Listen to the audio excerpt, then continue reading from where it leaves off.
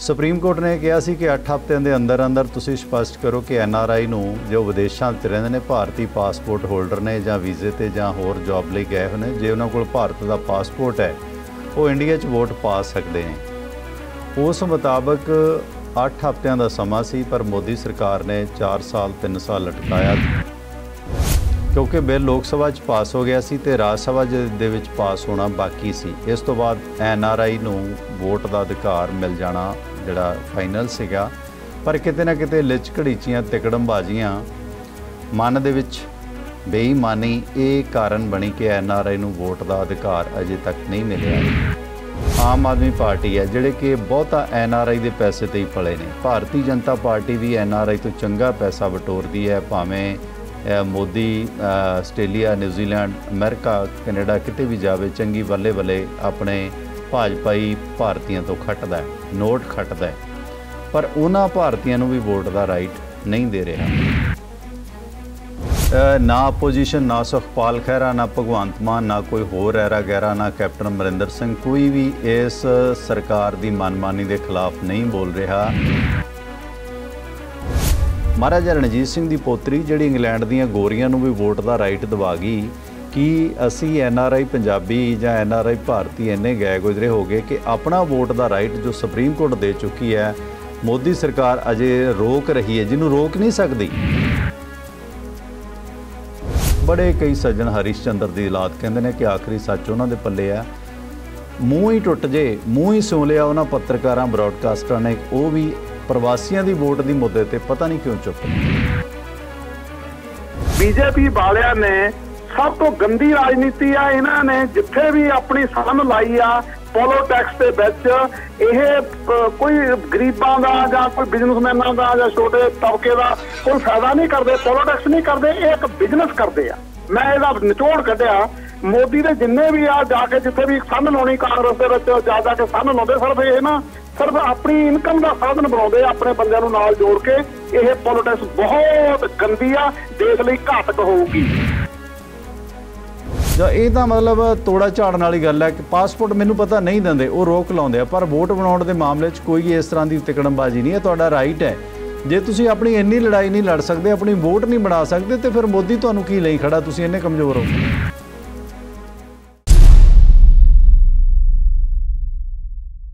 Hello global Punjab programme ਦੇ ਦਾਨਿਸ਼ਵੰਦ ਦਰਸ਼ਕਾਂ ਦਾ ਇਸ ਪ੍ਰੋਗਰਾਮ ਦੇ ਵਿੱਚ ਪਰਮਿੰਦਰ ਸਿੰਘ ਟਿਵਾਣਾ ਵੱਲੋਂ ਸਵਾਗਤ, ਸਤਿ ਸ਼੍ਰੀ ਅਕਾਲ, ਸਲਾਮ, ਨਮਸਕਾਰ ਆਦਾਬ global Punjab television America channel Punjabi TV Canada ਤੇ D5 ਚੈਨਲ ਪੰਜਾਬੀ ਦੇ ਦਾਨਿਸ਼ਵੰਦ ਦਰਸ਼ਕੋ, ਅੱਜ ਦੇ ਇਸ ਪ੍ਰੋਗਰਾਮ ਦੇ ਵਿੱਚ ਆਪਾਂ ਅਹਿਮ ਮੁੱਦਿਆਂ ਤੇ ਗੱਲ ਕਰਨੀ ਹੈ, ਜਿਹੜੇ ਪੰਜਾਬ ਤੇ ਭਾਰਤ ਦੋਨਾਂ ਦੇ ਨਾਲ ਵਾਬਸਤਾ ਨੇ।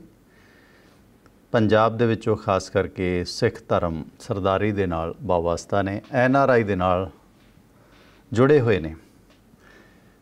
2015 ਦੇ ਵਿੱਚ ਸਾਊਥ ਦੇ ਡਾਕਟਰ ਸ਼ਮਸ਼ੇਰ ਵਲਾਲ ਦੀ ਵੋਟ ਕੱਟ ਦਿੱਤੀ ਗਈ ਸੀ। ਉਸ ਤੋਂ ਬਾਅਦ ਉਸਨੇ 2.5 3 ਸਾਲ ਲੱਖਾਂ ਰੁਪਏ ਲਾ ਕੇ ਸੁਪਰੀਮ ਕੋਰਟ ਤੋਂ ਇਹ ਅਧਿਕਾਰ ਲੈ ਲਿਆ ਸੀ ਕਿ ਐਨ ਆਰ ਆਈ ਨੂੰ ਵੋਟ ਦਾ ਰਾਈਟ ਦਿੱਤਾ ਜਾਵੇ। ਸੁਪਰੀਮ ਕੋਰਟ ਨੇ ਕਿਹਾ ਸੀ ਕਿ 8 ਹਫ਼ਤਿਆਂ ਦੇ ਅੰਦਰ ਅੰਦਰ ਤੁਸੀਂ ਸਪਸ਼ਟ ਕਰੋ ਕਿ ਐਨ ਆਰ ਆਈ ਨੂੰ ਜੋ ਵਿਦੇਸ਼ਾਂ ਵਿੱਚ ਰਹਿੰਦੇ ਨੇ, ਭਾਰਤੀ ਪਾਸਪੋਰਟ ਹੋਲਡਰ ਨੇ ਜਾਂ ਵੀਜ਼ੇ ਤੇ ਜਾਂ ਹੋਰ ਜੌਬ ਲਈ ਗਏ ਹੋਏ ਨੇ, ਜੇ ਉਹਨਾਂ ਕੋਲ ਭਾਰਤ ਦਾ ਪਾਸਪੋਰਟ ਹੈ, ਉਹ ਇੰਡੀਆ 'ਚ ਵੋਟ ਪਾ ਸਕਦੇ ਨੇ। ਉਸ ਮੁਤਾਬਕ 8 ਹਫ਼ਤਿਆਂ ਦਾ ਸਮਾਂ ਸੀ, ਪਰ ਮੋਦੀ ਸਰਕਾਰ ਨੇ 4 ਸਾਲ 3 ਸਾਲ ਲਟਕਾਇਆ ਤੇ ਅਖੀਰ ਨੂੰ ਬਿੱਲ ਲੋਕ ਸਭਾ ਦੇ ਵਿੱਚ ਪਾਸ ਕਰਿਆ ਕਿ ਐਨ ਆਰ ਆਈ ਨੂੰ ਵੋਟ ਦਾ ਰਾਈਟ ਮਿਲ ਗਿਆ। ਪਰ ਇਹ 16ਵੀਂ ਜਿਹੜੀ ਸ- ਸਭਾ ਸੀਗੀ, ਸਰਕਾਰ ਸੀਗੀ, ਉਹ ਅਸੈਂਬਲੀ ਭੰਗ ਹੋ ਗਈ ਸੀਗੀ, ਪਾਰਲੀਮੈਂਟ ਭੰਗ ਹੋ ਗਈ ਸੀ 2019 ਦੇ ਵਿੱਚ, ਕਿਉਂਕਿ ਬਿੱਲ ਲੋਕ ਸਭਾ 'ਚ ਪਾਸ ਹੋ ਗਿਆ ਸੀ ਤੇ ਰਾਜ ਸਭਾ ਜ- ਦੇ ਵਿੱਚ ਪਾਸ ਹੋਣਾ ਬਾਕੀ ਸੀ। ਇਸ ਤੋਂ ਬਾਅਦ ਐਨ ਆਰ ਆਈ ਨੂੰ ਵੋਟ ਦਾ ਅਧਿਕਾਰ ਮਿਲ ਜਾਣਾ ਜਿਹੜਾ ਫਾਈਨਲ ਸੀਗਾ।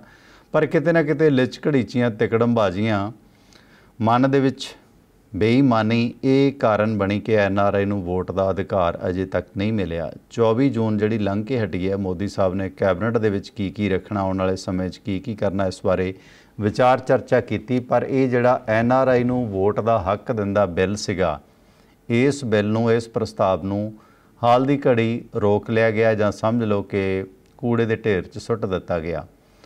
ਕਿਉਂਕਿ ਲੋਕ ਸਭਾ 'ਚ ਪਾਸ ਹੋ ਗਿਆ, ਰਾਜ ਸਭਾ 'ਚ ਪਾਸ ਹੋਣ ਤੋਂ ਬਾਅਦ ਐਨ ਆਰ ਆਈ ਨੂੰ ਵੋਟ ਦਾ ਰਾਈਟ ਮਿਲ ਜਾਣਾ ਸੀ। ਕਰੋੜਾਂ ਭਾਰਤੀ ਜੋ ਵਿਦੇਸ਼ਾਂ 'ਚ ਨੇ, ਉਹ ਆਪਣਾ ਪਸੰਦੀਦਾ ਲੀਡਰ ਤੇ ਸਰਕਾਰ ਚੁਣ ਸਕਦੇ ਸਨ। ਪਰ ਹੁਣ ਐਨ ਆਰ ਆਈ ਨੂੰ ਵੋਟ ਦਾ ਅਧਿਕਾਰ ਫਿਰ ਉੱਥੇ ਜਾ ਖੜਿਆ, ਜਿੱਥੇ ਗੱਲ ਪਹਿਲਾਂ ਖੜੀ ਸੀ। ਅਫਸੋਸ, ਦੁੱਖ ਇਸ ਗੱਲ ਦਾ ਹੈ ਕਿ ਨਾ ਤਾਂ ਕੋਈ ਵਿਰੋਧੀ ਪਾਰਟੀ ਜਿਨ੍ਹਾਂ ਦੇ ਵਿੱਚ ਕਾਂਗਰਸ ਹੈ, ਕਾਮਰੇਡ ਨੇ ਜਾਂ ਆਮ ਆਦਮੀ ਪਾਰਟੀ ਹੈ, ਜਿਹੜੇ ਕਿ ਬਹੁਤਾ ਐਨ ਆਰ ਆਈ ਦੇ ਪੈਸੇ ਤੇ ਹੀ ਪਲੇ ਨੇ। ਭਾਰਤੀ ਜਨਤਾ ਪਾਰਟੀ ਵੀ ਐਨ ਆਰ ਆਈ ਤੋਂ ਚੰਗਾ ਪੈਸਾ ਵਟੋਰਦੀ ਹੈ, ਭਾਵੇਂ Modi Australia, New Zealand, America, Canada ਕਿਤੇ ਵੀ ਜਾਵੇ, ਚੰਗੀ ਬੱਲੇ ਬੱਲੇ ਆਪਣੇ ਭਾਜਪਾਈ ਭਾਰਤੀਆਂ ਤੋਂ ਖੱਟਦਾ ਹੈ, ਨੋਟ ਖੱਟਦਾ ਹੈ। ਪਰ ਉਹਨਾਂ ਭਾਰਤੀਆਂ ਨੂੰ ਵੀ ਵੋਟ ਦਾ ਰਾਈਟ ਨਹੀਂ ਦੇ ਰਿਹਾ। ਇਸ ਦੌਰਾਨ ਨਾ ਆਪੋਜੀਸ਼ਨ ਨਾ ਸੁਖਪਾਲ ਖਹਿਰਾ, ਨਾ ਭਗਵੰਤ ਮਾਨ, ਨਾ ਕੋਈ ਹੋਰ ਐਰਾ ਗੈਰਾ ਨਾ ਕੈਪਟਨ ਅਮਰਿੰਦਰ ਸਿੰਘ। ਕੋਈ ਵੀ ਇਸ ਸਰਕਾਰ ਦੀ ਮਨਮਾਨੀ ਦੇ ਖਿਲਾਫ ਨਹੀਂ ਬੋਲ ਰਿਹਾ ਕਿ ਪਾਰਲੀਮੈਂਟ ਦੇ ਵਿੱਚ ਕਾਨੂੰਨ ਤੇ ਕਿਉਂ ਰੋਕ ਲੱਗੀ ਹੈ, ਜਦੋਂ ਸੁਪਰੀਮ ਕੋਰਟ ਨੇ ਅਧਿਕਾਰ ਦੇ ਦਿੱਤਾ। ਅਫਸੋਸ ਦੀ ਗੱਲ ਇਹ ਹੈ ਕਿ ਐਨ ਆਰ ਆਈ ਸੱਜਣਾ 'ਚ ਵੀ ਨਖਿੱਧਪਣਾ, ਇਹ ਲਫ਼ਜ਼ ਕਈਆਂ ਨੂੰ ਖਰਵਾ ਲੱਗਣਾ ਲੱਗੇ, ਕੋਈ ਪ੍ਰੋਬਲਮ ਨਹੀਂ। ਐਨ ਆਰ ਆਈ ਵੀ ਆਪਣੇ ਵੋਟ ਦੇ ਹੱਕ ਦੇ ਲਈ ਜਦੋਂ ਜਹਿਦ ਨਹੀਂ ਕਰ ਰਹੇ। ਕੋਈ ਵੀ ਐਨ ਆਰ ਆਈ ਸਭਾ ਇਸ ਵੋਟ ਦੇ ਹੱਕ ਦੇ ਲਈ ਕੁਝ ਵੀ ਨਹੀਂ ਕਰ ਰਹੀ। ਅਸੀਂ ਗੱਲਾਂ ਤੇ ਕਈ ਸੱਜਣ 2020 ਦੀਆਂ ਕਰਨਗੇ, ਦੇਸ਼ ਨੂੰ ਆਜ਼ਾਦ ਕਰਾਉਣ ਖਾਲਿਸਤਾਨ ਦੀਆਂ ਕਰਨਗੇ, ਪਰ ਜ਼ਮੀਨੀ ਹਕੀਕਤਾਂ ਇਹ ਨੇ ਕਿ ਪੰਜਾਬ ਤੇ ਦਾਅਵੇਦਾਰੀ ਉਹ ਖੁੱਸ ਰਹੀ ਹੈ। ਪੰਜਾਬ ਬੁੜਿਆਂ ਦਾ ਦੇਸ਼ ਬਣਦਾ ਜਾ ਰਿਹਾ। ਪੰਜਾਬ ਦੇ ਵਿੱਚ ਪੰਜਾਬੀ ਗੱਭਰੂ ਲਗਾਤਾਰ ਖਤਮ ਹੋ ਰਹੇ ਨੇ, ਬਜ਼ੁਰਗ ਵੱਧ ਰਹੇ ਨੇ। ਪਰ ਉਸ ਦੌਰਾਨ ਕੀ ਮਹਾਰਾਜਾ ਰਣਜੀਤ ਸਿੰਘ ਦੀ ਪੋਤਰੀ, ਜਿਹੜੀ ਇੰਗਲੈਂਡ ਦੀਆਂ ਗੋਰੀਆਂ ਨੂੰ ਵੀ ਵੋਟ ਦਾ ਰਾਈਟ ਦਵਾ ਗਈ ਕਿ ਅਸੀਂ ਐਨ ਆਰ ਆਈ ਪੰਜਾਬੀ ਜਾਂ ਐਨ ਆਰ ਆਈ ਭਾਰਤੀ ਇੰਨੇ ਗਏ ਗੁਜ਼ਰੇ ਹੋ ਗਏ ਕਿ ਆਪਣਾ ਵੋਟ ਦਾ ਰਾਈਟ ਜੋ ਸੁਪਰੀਮ ਕੋਰਟ ਦੇ ਚੁੱਕੀ ਹੈ, ਮੋਦੀ ਸਰਕਾਰ ਅਜੇ ਰੋਕ ਰਹੀ ਹੈ, ਜਿਹਨੂੰ ਰੋਕ ਨਹੀਂ ਸਕਦੀ ਕਿ ਉਸ ਬਾਰੇ ਕੋਈ ਉਜ਼ਰ ਨਹੀਂ ਕਰ ਰਿਹਾ, ਕੋਈ ਐਨ ਆਰ ਆਈ ਸਭਾ, ਕੋਈ ਸੰਸਥਾ even N R I media ਤੱਕ ਵੀ ਮੂੰਹ 'ਚ ਘੁੰਗਣੀਆਂ ਪਾ ਗਿਆ। ਬਦਕਿਸਮਤੀ ਹੈ ਇਸ ਪ੍ਰੋਸੈਸ ਦੀ ਕਿ ਮੈਂ ਇਸ ਤੇ ਸਭ ਤੋਂ ਜ਼ਿਆਦਾ ਬੋਲਿਆ। ਸਾਡੇ ਜਿਹੜੇ ਤੁਹਾਡੇ ਮੁਲਕਾਂ ਨੂੰ ਇੱਥੋਂ ਰਿਪੋਰਟਿੰਗ ਕਰਦੇ ਨੇ ਨਾ, ਬੜੀਆਂ ਗੱਲਾਂ ਕਰਦੇ ਨੇ ਦੇਸ਼ ਦੀ ਆਜ਼ਾਦੀ ਦੀ ਆ, ਬੜਾ ਸੱਚ ਬੋਲਣ ਦਾ ਦਾਵਾ ਕਰਦੇ ਨੇ। ਬੜੇ ਕਈ ਸੱਜਣ ਹਰੀਸ਼ ਚੰਦਰ ਦੀ ਔਲਾਦ ਕਹਿੰਦੇ ਨੇ ਕਿ ਆਖਰੀ ਸੱਚ ਉਹਨਾਂ ਦੇ ਪੱਲੇ ਆ।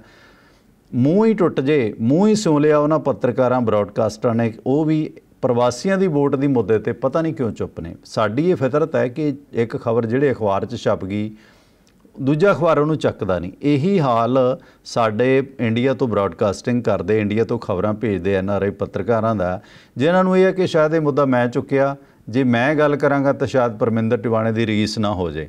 ਸੋ ਇਹ ਵੀ ਸੱਜਣ ਜਿਹੜੇ ਨੇ ਇਥੋਂ ਰਿਪੋਰਟਿੰਗ ਕਰਦੇ ਨੇ, ਜਿਹੜੇ ਐਨ ਆਰ ਆਈ ਪੈਸੇ ਤੇ ਪੜਦੇ ਨੇ। ਮੈਂ ਹੀ ਕਹਾਂਗਾ ਕਿਉਂਕਿ ਮਾਫ ਕਰਨਾ ਸੀ, ਸੇਵਾ ਸੁਭਾ ਮੈਂ ਕੋਈ ਨਹੀਂ ਕਰ ਰਿਹਾ ਜੇ ਕਹਾਂ ਮੈਂ ਵੀ ਐਨ ਆਰ ਆਈ ਮੀਡੀਆ ਤੋਂ ਹੁੰਦੀ ਇਨਕਮ ਦੇ ਨਾਲ ਆਪਣਾ ਢਮਟਮਾ ਚਲਾ ਰਿਹਾ।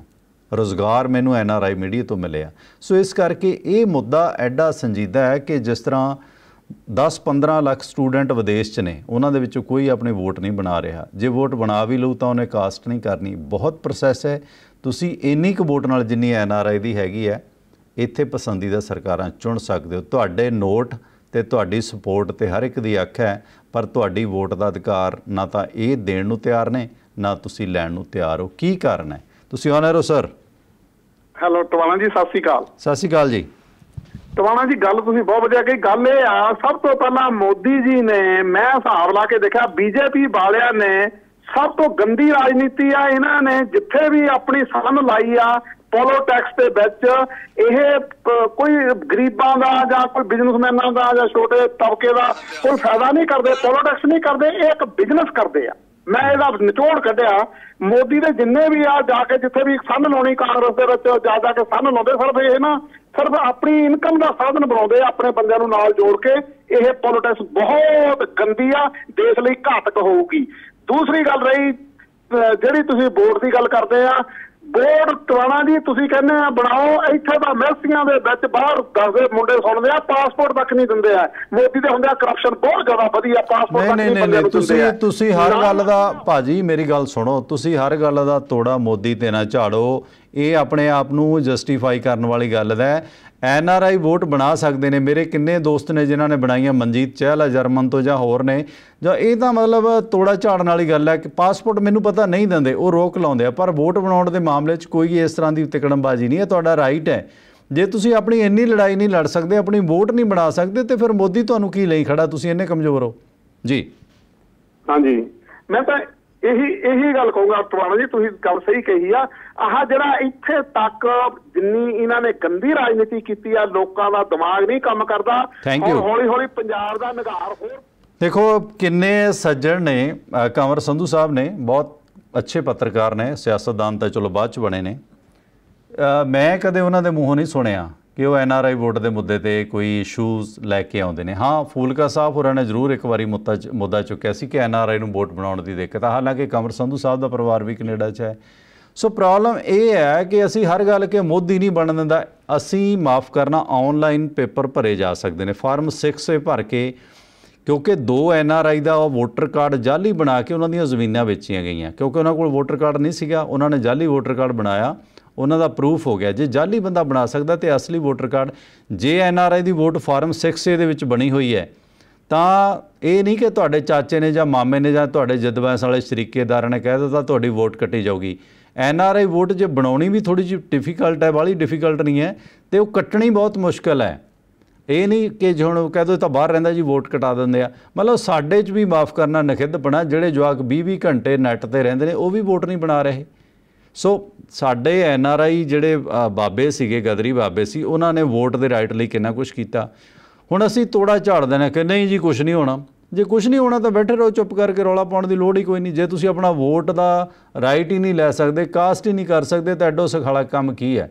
ਗੋਲੀਆਂ ਚੱਕਣ ਨੂੰ ਤਾਂ ਅਸੀਂ ਤਿਆਰ ਹੋ ਜਾਂਦੇ ਹਾਂ ਕਿ ਗੋਲੀਆਂ ਨਾਲ ਖਾਲਿਸਤਾਨ ਲੈ ਲੈਣਾ, ਇਹ ਲੈ ਲੈਣਾ ਉਹ ਲੈਣਾ।